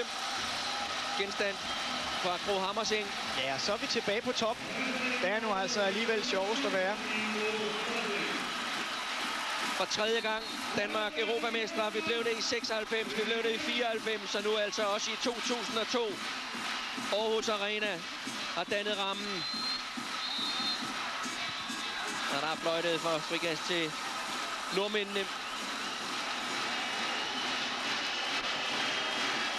Pytlik kan næsten ikke tro på det. Han går rundt dernede. Frem og tilbage, knytter næverne. Og Fole, hun bliver ved med at kaste efter det hele. 5 sekunder. Norsk reducering, men vi kigger på tavlen, og vi lytter efter bot bot hornet 25-22 til Danmark, og dermed EM-guld, der danses i Aarhus. Der danses formentlig over det ganske land. Hvilken præstation. Og det er ikke mindst øh, de psykiske ressourcer, de mentale ressourcer på det her hold, der står så øh, utrolig godt sammen. Det er ikke mindst det, der afgør det her. Ikke en eneste gang er vi gået fra banen og har mistet point. Vi har været nede undervejs nogle gange. Vi var det mod russerne i går. Vi har været det i dag mod Norge. Men spillerne har ved fælles hjælp hævet hinanden op og skabt denne triumf. En kollektiv triumf med enkelte glimtende stjerner. Ledende stjerner, kan vi roligt sige.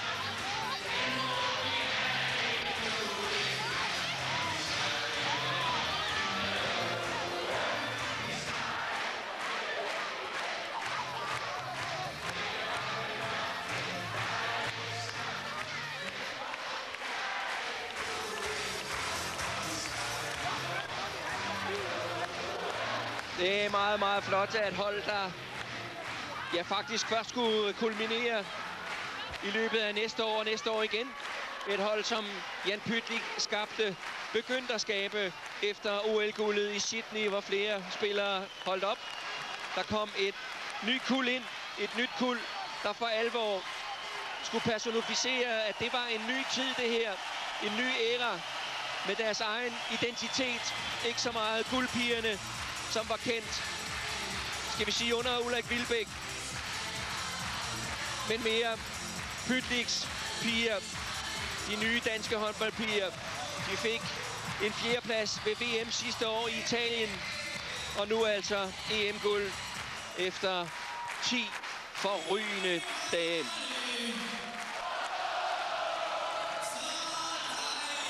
Skal vi lige samle op på kampen her, mens de omfavner hinanden. De kan næsten ikke slippe hinanden, og det er altså ikke kun fordi, de har harpiks på fingrene. Det er spontant glæde, det her. 25-22 mod Norge. Topscorer Line Daggaard med syv mål. Fem stykker til Rikke Hørlykke, der spillede en fantastisk kamp.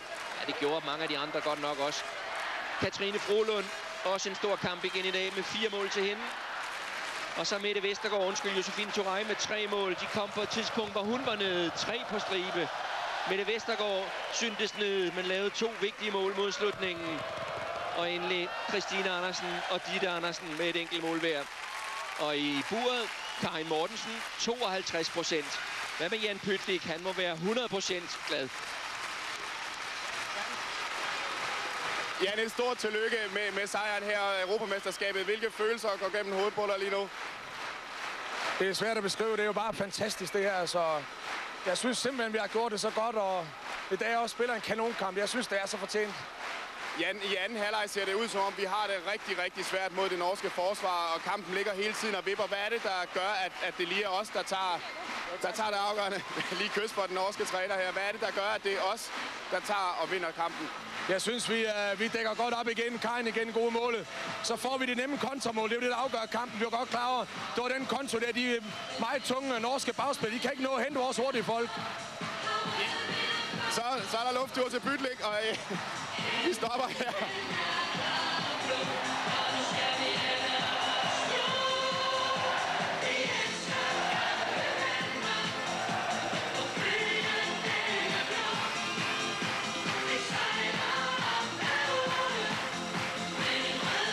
Igen. Jan, Jan Pytlik, en, en fortjent lufttur der. Hvor- Hvordan øh, har man det efter at have slået ærkerivalerne fra Norge? Det kan jo være bedre. Altså, blive europamester, så må Norge. Større kan det ikke blive. Der var på forhånd talt meget om den her finale, en drømmefinale. Men den her kulisse, hvordan har det været at spille den finale? Levede den op til alle de drømme, du havde om den?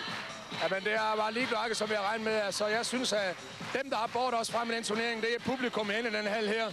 Det er simpelthen, de har båret os frem i alle kampe. Stor, stor tak til dem, der har været her. Det er dem, der har løftet os. Tak skal du have, Jan Pytlik.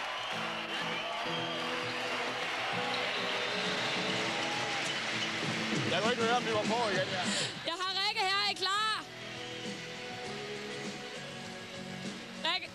Rikke Hørlykke, stort, stort tillykke. Du er kampens helt store spiller. Hvor får du al den energi fra? Og jeg synes nu, jeg havde masser af energi til i dag. Det kan man ikke undgå her til sådan en finale. Hvordan har du det lige nu? Jamen altså, vi har hele tiden ikke to og to på det, men øh, vi viser fandme format i dag. Undskyld, jeg bander, men øh, vi kæmper os tilbage i kampen. Vi skulle presse i bund på nogle tidspunkter, men øh, det lykkedes heldigvis. Det er den mest ubehagelige gyser, jeg længe har set. Øh, Hvorfor I, hvorfor I kræfterne fra til sidst?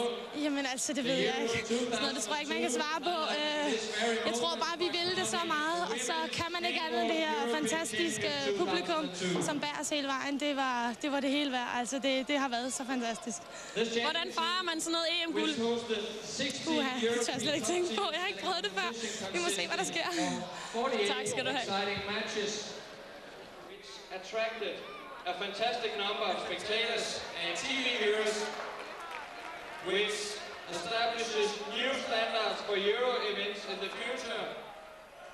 Mia Hundvin, det blev ikke til den guldmedalje, du havde drømt om. Hvordan var det at spille kampen i dag? Jamen, øh, det er rigtigt. Altså, alle de her forhold er fantastiske. Men man må bare indse, at danskerne var... De spiller nu flot håndbold her til sidst, og øh, de gør det godt, og det er sådan set okay, men det er ikke sjovt at ikke vinde, men vi skal nok komme forbi det her. I, I anden halvleg, der ser det ud som om, I har luret dem og har virkelig godt fat i dem i forsvaret. Kampen står og vipper ved stillingen 18-18. Hvad er det, der gør, at I ikke kan holde ved danskerne der? Around 10 minutes. Nej, altså, vi, vi klarer ikke at score de sidste på vores chancer helt, og det er vel der, det ligger. Nogle gange så, så bliver det for meget fokusering på, hvor man skal skide, og det er ikke godt. Man skal ikke tænke. Man skal bare slappe af, og vi har skuldrene åbne og ørerne i dag. Måske er det det. Led finalen op til din drømme om en kulisse herinde. Ja, kulissen er fantastisk. Det må jeg sige. Så al honør til danskerne. Der, har, der har ikke, sker ikke mange andre steder. Tak skal du have, Mia.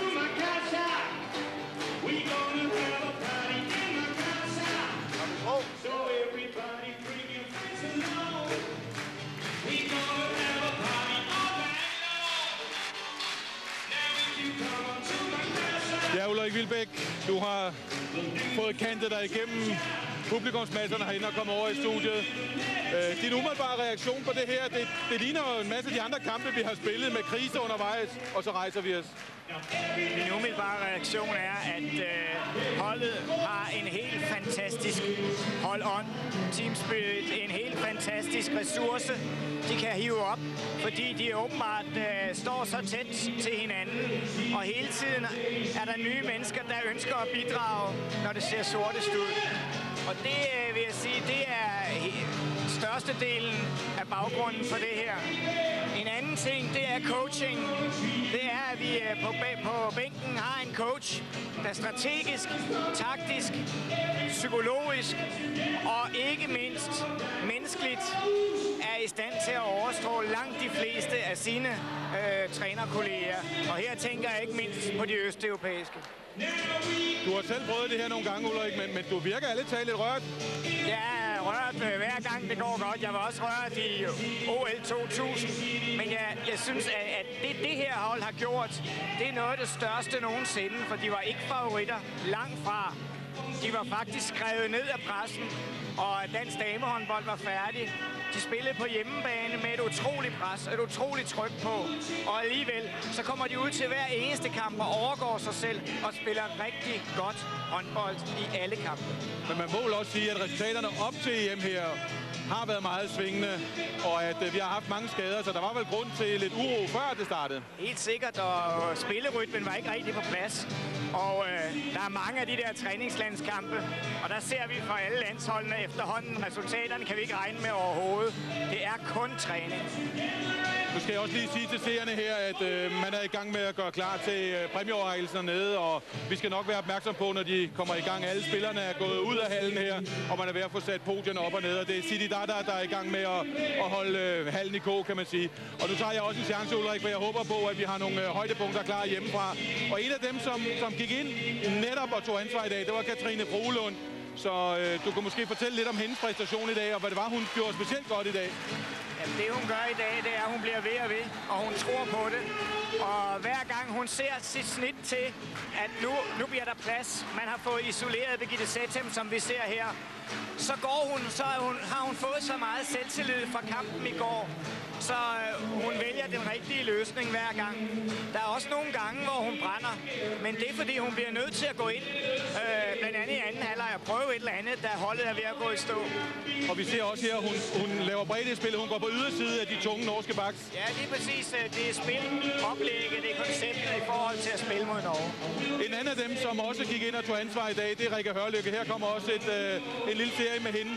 Og det er jo forbløffende, som hun tør at gå ind og satse i situationer. Her et fræk skud på Heidi Tjukum. Uh, Rikke Hørlykke, hun var dagens spiller, synes jeg, fordi øh, hun gik fra første minut ind, gik indenom, gik udenom, laver nogle teknisk utrolig svære ting, og øh, hun tør. Det er den spiller overhovedet øh, på Danmarks hold, der tør mest.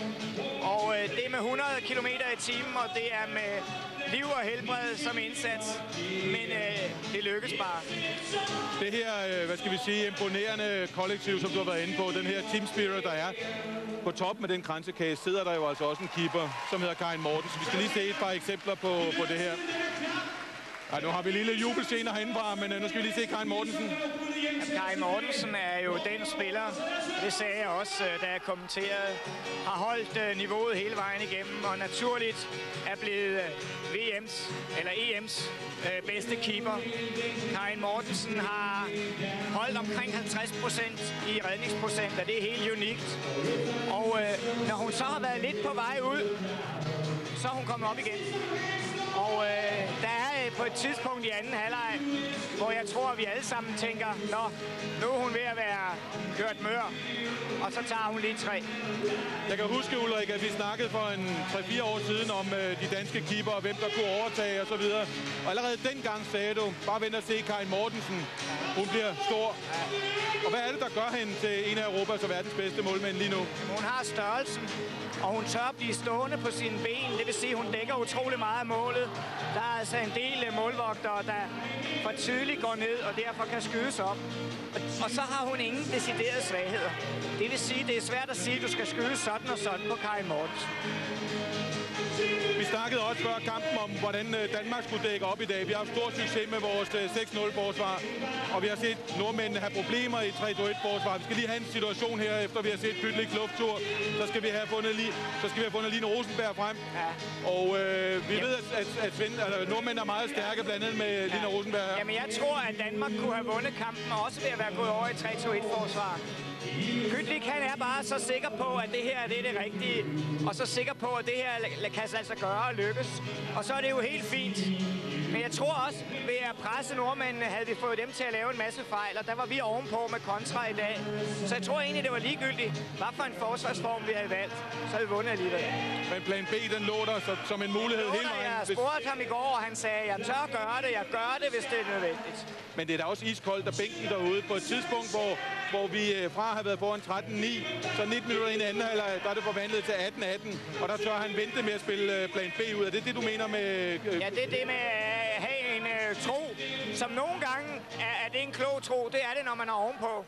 Men øh, hvis man er lidt nede, så kan det godt være, at man skal skifte over til plan B og C. En anden af dem, som øh, gik ind og tog ansvar i dag, det er Line Daggaard. Vi skal se et par eksempler på, hvordan hun gør det. Vi ser Christine Andersen brænder af straffekast, så er det Line Daggaard. Hun tager altså ansvar. Ja, Line Daggaard øh, går jo ind og laver nogle meget, meget flotte afslutninger. Specielt dem, hun laver op i toppen af målet, hvor hun bare lige bruger sit håndled. Men øh, hun er også øh, meget skarp i kontrafasen. Så går hun så ind og laver, brænder to straffekast. Men det betyder ikke noget, fordi det er holdet klar til at leve med. Det er ikke sådan, man går ned.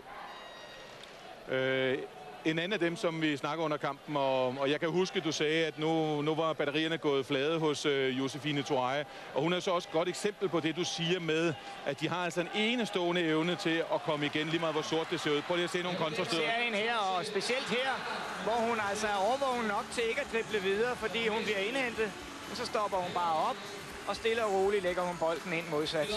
Det her, ikke? Det er høj, høj klasse. Det er måske ikke så svært, men det er svært på det her tidspunkt. Vi øh, tror, jeg skal ned og gøre klar til øh, selve præmieoverrækkelsen nede, og Ulrik og jeg sidder heroppe selvfølgelig og kan tage over, hvis, øh, hvis det kan blive nødvendigt. Men øh, Jimmy Bøjgaard vil drive det igennem heroppe i arenaen i Aarhus, og lad os så håbe, at vi kan få holdene ind snart, og især det danske. We are drawing our attention. Ja, det vi gør klar til nu, som vi også hørte op fra Morten Stig, det er naturligvis uh, præmieoverrækkelsen. Det er kåring uh, det såkaldte All-Star Team, altså hvor journalister fra hele Europa har valgt de syv spillere, som man mener kan dække stjerneholdet. Og så er det uh, kåring uh, topscoren i turneringen og den absolut bedste spiller. Det er så det, vi skal igennem nu her, og der er det jo altså en meget, meget herlig fornemmelse at sidde i arenaen, og formentlig, eller selvfølgelig også hjemme foran skærmen, når vi ved, hvem der skal øverst på den guldbelagte skammel. Et EM, som på forhånd var lidt, øh, skal vi sige, lidt frygtet hos øh, specielt Jan Pytlik. Kritikerne har været hårde, og med rette, for det har været nogle forberedelser, hvor man øh, ikke vidste noget som helst om, hvor holdet egentlig stod. Og det gjorde Jan Pytlik heller ikke. Jeg kan huske, han sagde til mig på et tidspunkt, det her, det er sgu svært. Hvor jeg aner ikke, hvor vi er henne. Og det øh, skulle han så altså igennem otte kampe på 10 dage for at finde helt præcist. Og nu fandt han dem altså øverst på skamlen. En Pytlik, der også førte Danmark frem til OL-guld i Sydney for to år siden.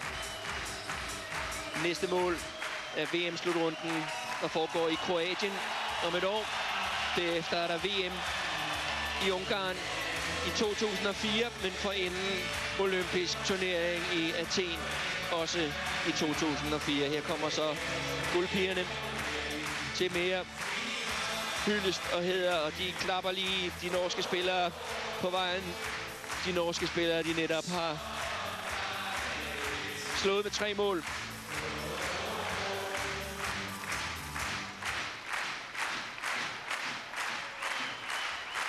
Russia, France, Norway, and Denmark welcome me on the field and congratulations.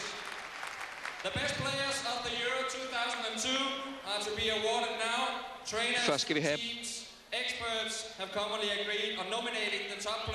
jeg tror faktisk, vi starter med 2002 in overrækkelsen af Now we're ready to award the Præmier. top scorer, the All-Star team, and the best player Nej, først så tager the vi den i rækkefølgen her med All-Star-teamet topscorer, All-Star-holdet og tom, topscorer og bedste spiller. The awarding of the top scorer is Topscoreren i turneringen the member her. of the EHF Executive Committee, Boris president Og så får vi bag kvartetten her, den røde kvartet. Der har vi så alle medaljerne liggende, og så får vi øh, en repræsentant fra EHF og en repræsentant fra DHF, det er Dansk Håndboldforbund, ind til overrækkelse af diverse priser. Først altså topscorer i turneringen her. Og her står EHF's formand til venstre, Søren Hø. Og han øh, står sammen med et medlem fra eksekutivkomiteen i the EHS, Boris Makarov. Og topscoreren blev Agnes Farkas fra Ungarn. Hun lavede 58 mål. Agnes Farkas. Og nu er de forhåbentlig ikke øh, rejst hjem, Ungarn.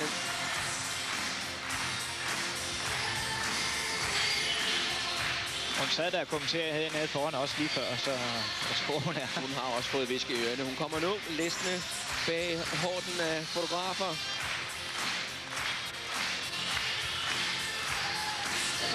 Farkas her fra det ungarske hold, der har triumferet for blot to år siden, men altså ikke noget som helst. Denne gang fra ungarsk side.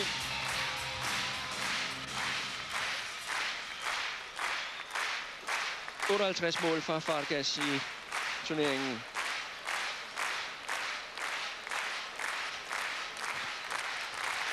For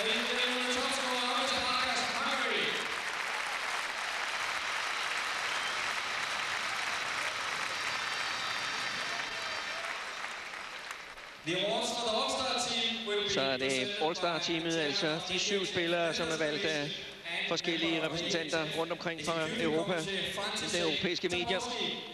Og det er ØF-chairman Taborski og Søren Høgh, der skal ind og overrække prisen til et All-Star-team,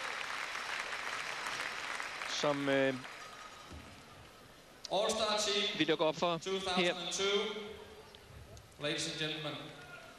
Goalkeeper. på mål. og det var publikum, der kom med det. Karin Mortensen naturligvis. En fantastisk turnering for Karin Mortensen. Og som vi hørte Ulrik Vilbæk sige det for et øjeblik siden op hos Morten Stig.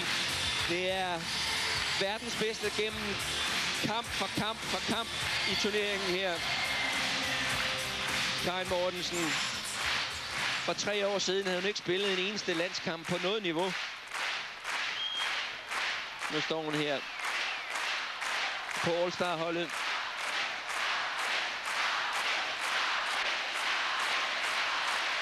Og naturligvis er hun jublende, men hun er også en lille smule flov ved at stå her i centrum. Det er slet ikke hende. Det er godt, hun står i centrum i buret.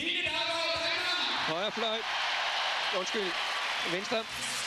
Line Daggaard har spillet nogle fremragende kampe her på det sidste. Ja, vi må sige, specielt her i øh, de afgørende kampe har Line slået til. Ja, hun har været stabil øh, også øh, i hele turneringen.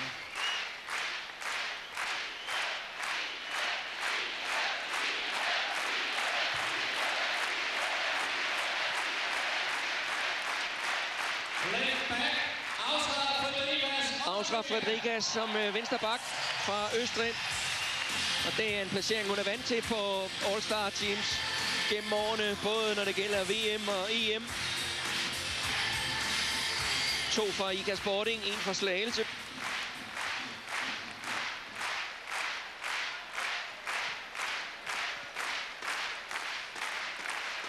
Så skal vi have en playmaker, en centerspiller. Stor til Christina Christine Andersen bliver valgt som playmakeren. Ja, det er jo så ikke på hendes finale.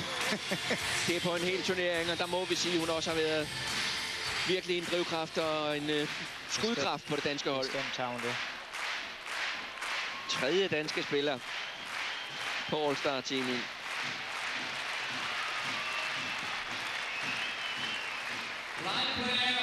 Stregspiller Ludmila Bodnieva fra Rusland.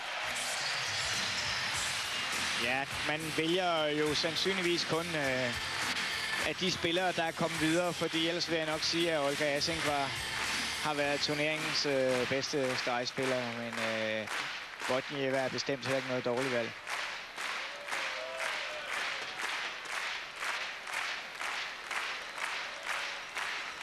Højre bak.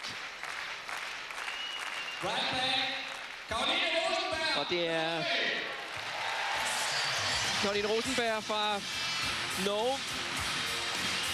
Ja, Lina Olsen Rosenberg her øh, har nok været den bak, der har været højre bak, der har været farligst. Og øh, at hun så har haft nogle gevaldige smutter i løbet af turneringen, det må man jo så leve med. Øh, for der har ikke, øh, hvis vi skal sådan kigge helt objektivt på det, været så mange øh, skudstærke, farlige højre baks i den her turnering. Hendes lille datter trillede med ind her. Ej, var det godt.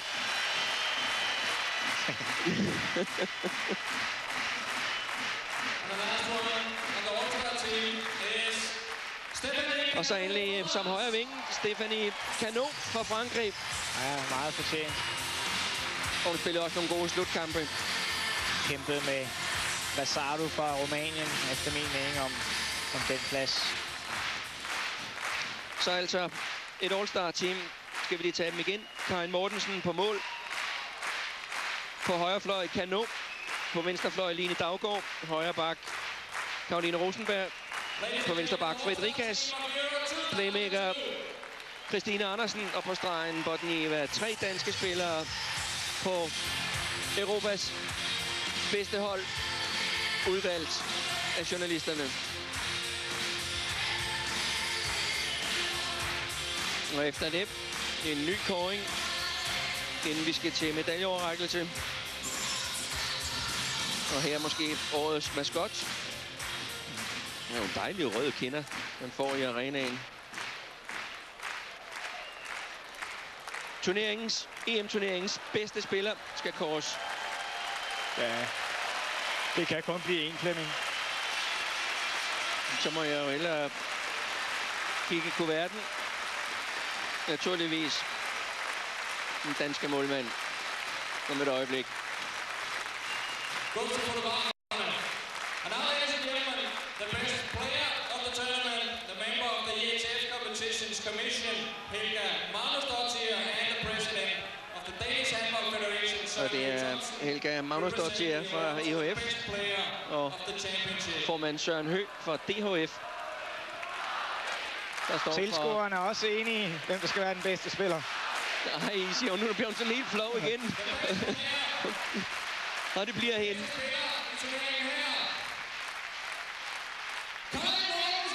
Ja, hun blev det. Europas bedste håndboldspiller. Karin Mortensen. Ja, det er fantastisk. Hvor er det godt. Det kan man kalde en kometkarriere. Og det danske hold laver bølge for Karin.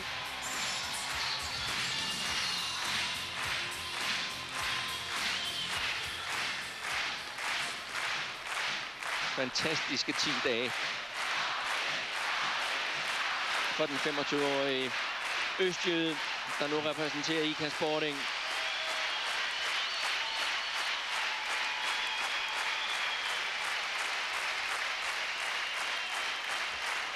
Ja, så er det bare tilbage at finde ud af, hvem der har vundet turneringen. Nu strammer vi op om tidsplanen. Nu skal præmieoverrækkelse til de fire bedst placerede. Carsten Thybo will hand over the fourth prize. Det bliver spændende, hva'? Og det er Laszlo Senka fra Ungarn, som er arrangør af næste EM. Og Carsten Thybo fra Dansk Håndboldforbund. Og en fjerdeplads til verdensmestrene fra Rusland. Og de er naturligvis nok noget skuffet. Og det er også temmelig overraskende, at de står der og skal have ingenting om halsen. De får et tændbær. De skal være skuffede med det hold, de har. Det øh, har ikke virket, som det gjorde sidste gang, hvor de var oppe i et helt andet tempo, virkede i en anden træningstilstand. Vi ser, øh, at det er Ungarns delegerede, der deler præmier ud. Ungarn blev nummer 5 her. Og det, jeg synes, der var det spændende ved, ved Ungarn som nation, det var, at øh, de vis, fremviste altså en hel bagkæde fuld af fuldstændig nye og unge spillere på omkring 20 år. Og så derfor kan vi godt forvente os, når vi kommer til Ungarn i 2004 til EM, så vil Ungarn være en af de meget store favoritter her. Sammen med selvfølgelig det her russiske hold, som også er meget ungt, men som slet ikke har fået det til at fungere denne her gang. Rusland, som øh, Danmark jo slog i semifinalen. Vi var nede med fire mål, men fik vendt og drejet sagerne med en dejlig koldbøtte. Ja, og så tabte russerne jo helt sensationelt øh, her i bronzekampen til Frankrig. Så alle tindbærer på rette hylde. Og vi skal så have overragt bronzemedaljerne. Turneringens nummer 3, Frankrig.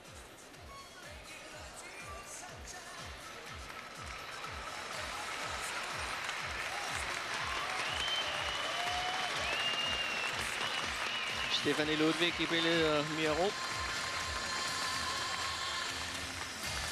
And now, ladies and gentlemen, the bronze medal, the EATF Secretary General Michael Wiederer Michael Videra, EOF's generalsekretær og økonomidirektøren for DOF, Bjarne Schmidt, skal overrække bronze til franskmændene. Ladies and gentlemen, bronze for France. Please. Og op med dem på podiet. Og de kan godt tillade sig at være rigtig godt glade.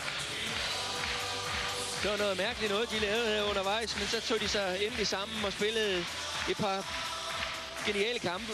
Ja, øh, da det Specielt så aller værst ud for dem, så var det mod Jugoslavien. øh, Og så øh, i dag, det var den bedste kamp, de overhovedet har vist ved VM.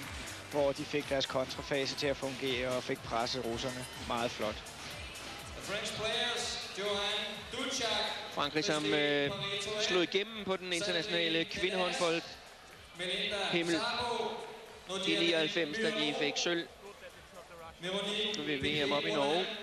Miriam Said Mohammed, Sofie Erbrecht, Og franskmændene øh, er også et hold, der har en god chance ved det næste VM i Kroatien, fordi øh, de til den tid vil have deres skade, skadede nøglespillere, først og fremmest Dela Lejeune, tilbage på holdet. Og så har de det, de har manglet under det her EM, nemlig nogle støtter.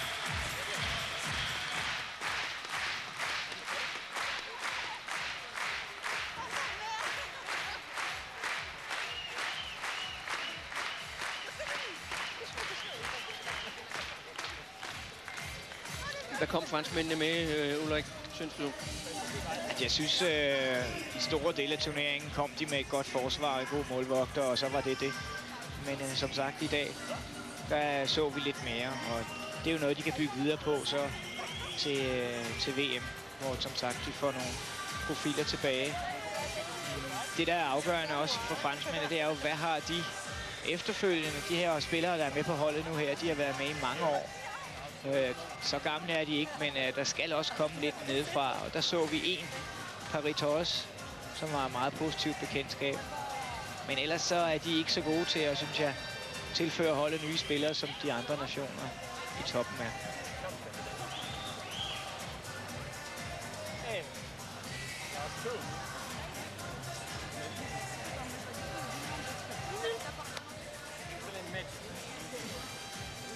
EM-bronze til Frankrig.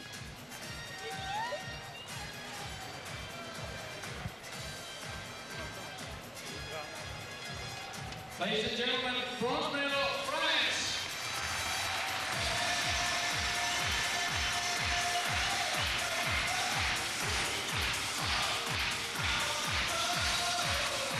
Så gælder det sølvmedaljerne.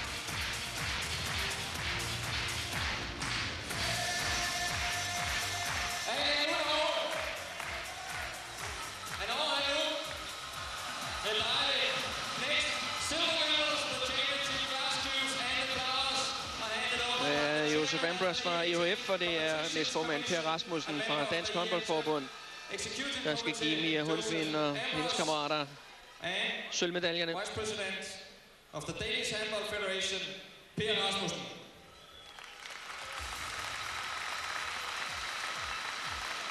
The silver medal in this championship, sølvmedalje, mine damer og herrer, til Norge! Norge på podiet, hvor der er markeret sølv.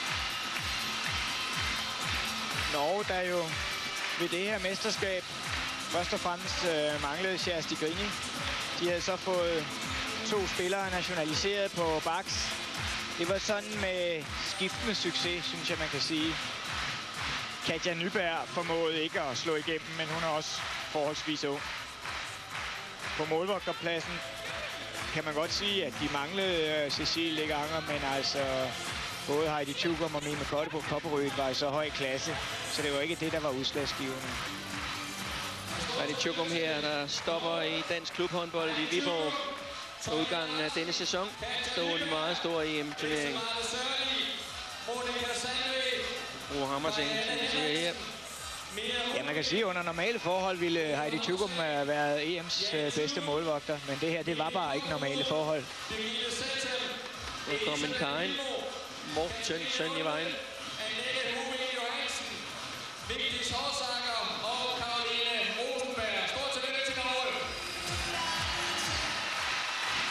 Er lidt øh, skuffelse hos de norske tilskuere, kan man godt se. Jeg tror, også da vi snakkede med nordmændene inden kampen, øh, tv-kommentatorer og sådan noget, de var meget sikre på, at Norge skulle løbe med det her. Ja, jeg skal ind og lidt stille derinde ved siden af i Jeg skal fat i min ven herinde ved siden Ja. af fra det norske TV, TV2. IHF's præsident, altså det europæiske håndboldforbund, Staffan Holmqvist og Søren Hø. Congratulations to the nummer 1, Europamester 2002. Danmark, værsgo.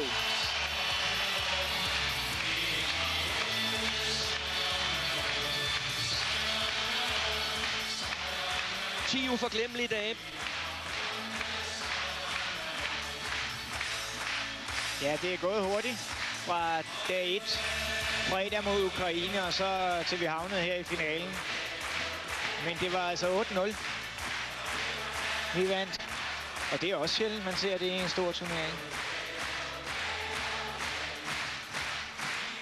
Skal vi følge dem til dørs her, en for en. Lene Rantala.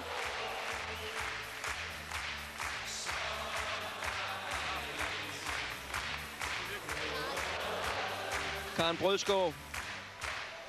De danske forlignelig stregspiller.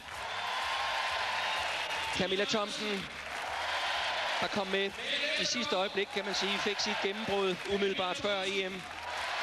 Og så Karin Mortensen kåret til EM's bedste spiller og med på All-Star-teamet. En fantastisk turnering. Christine Andersen også for hende. En stor turnering. Trine Jensen. Brugt som både højre bak og højre fløj. Vinnie Mølgaard, der blev indkaldt, hasteindkaldt. Da Lotte Kjærsgaard måtte melde frem med en brækket finger.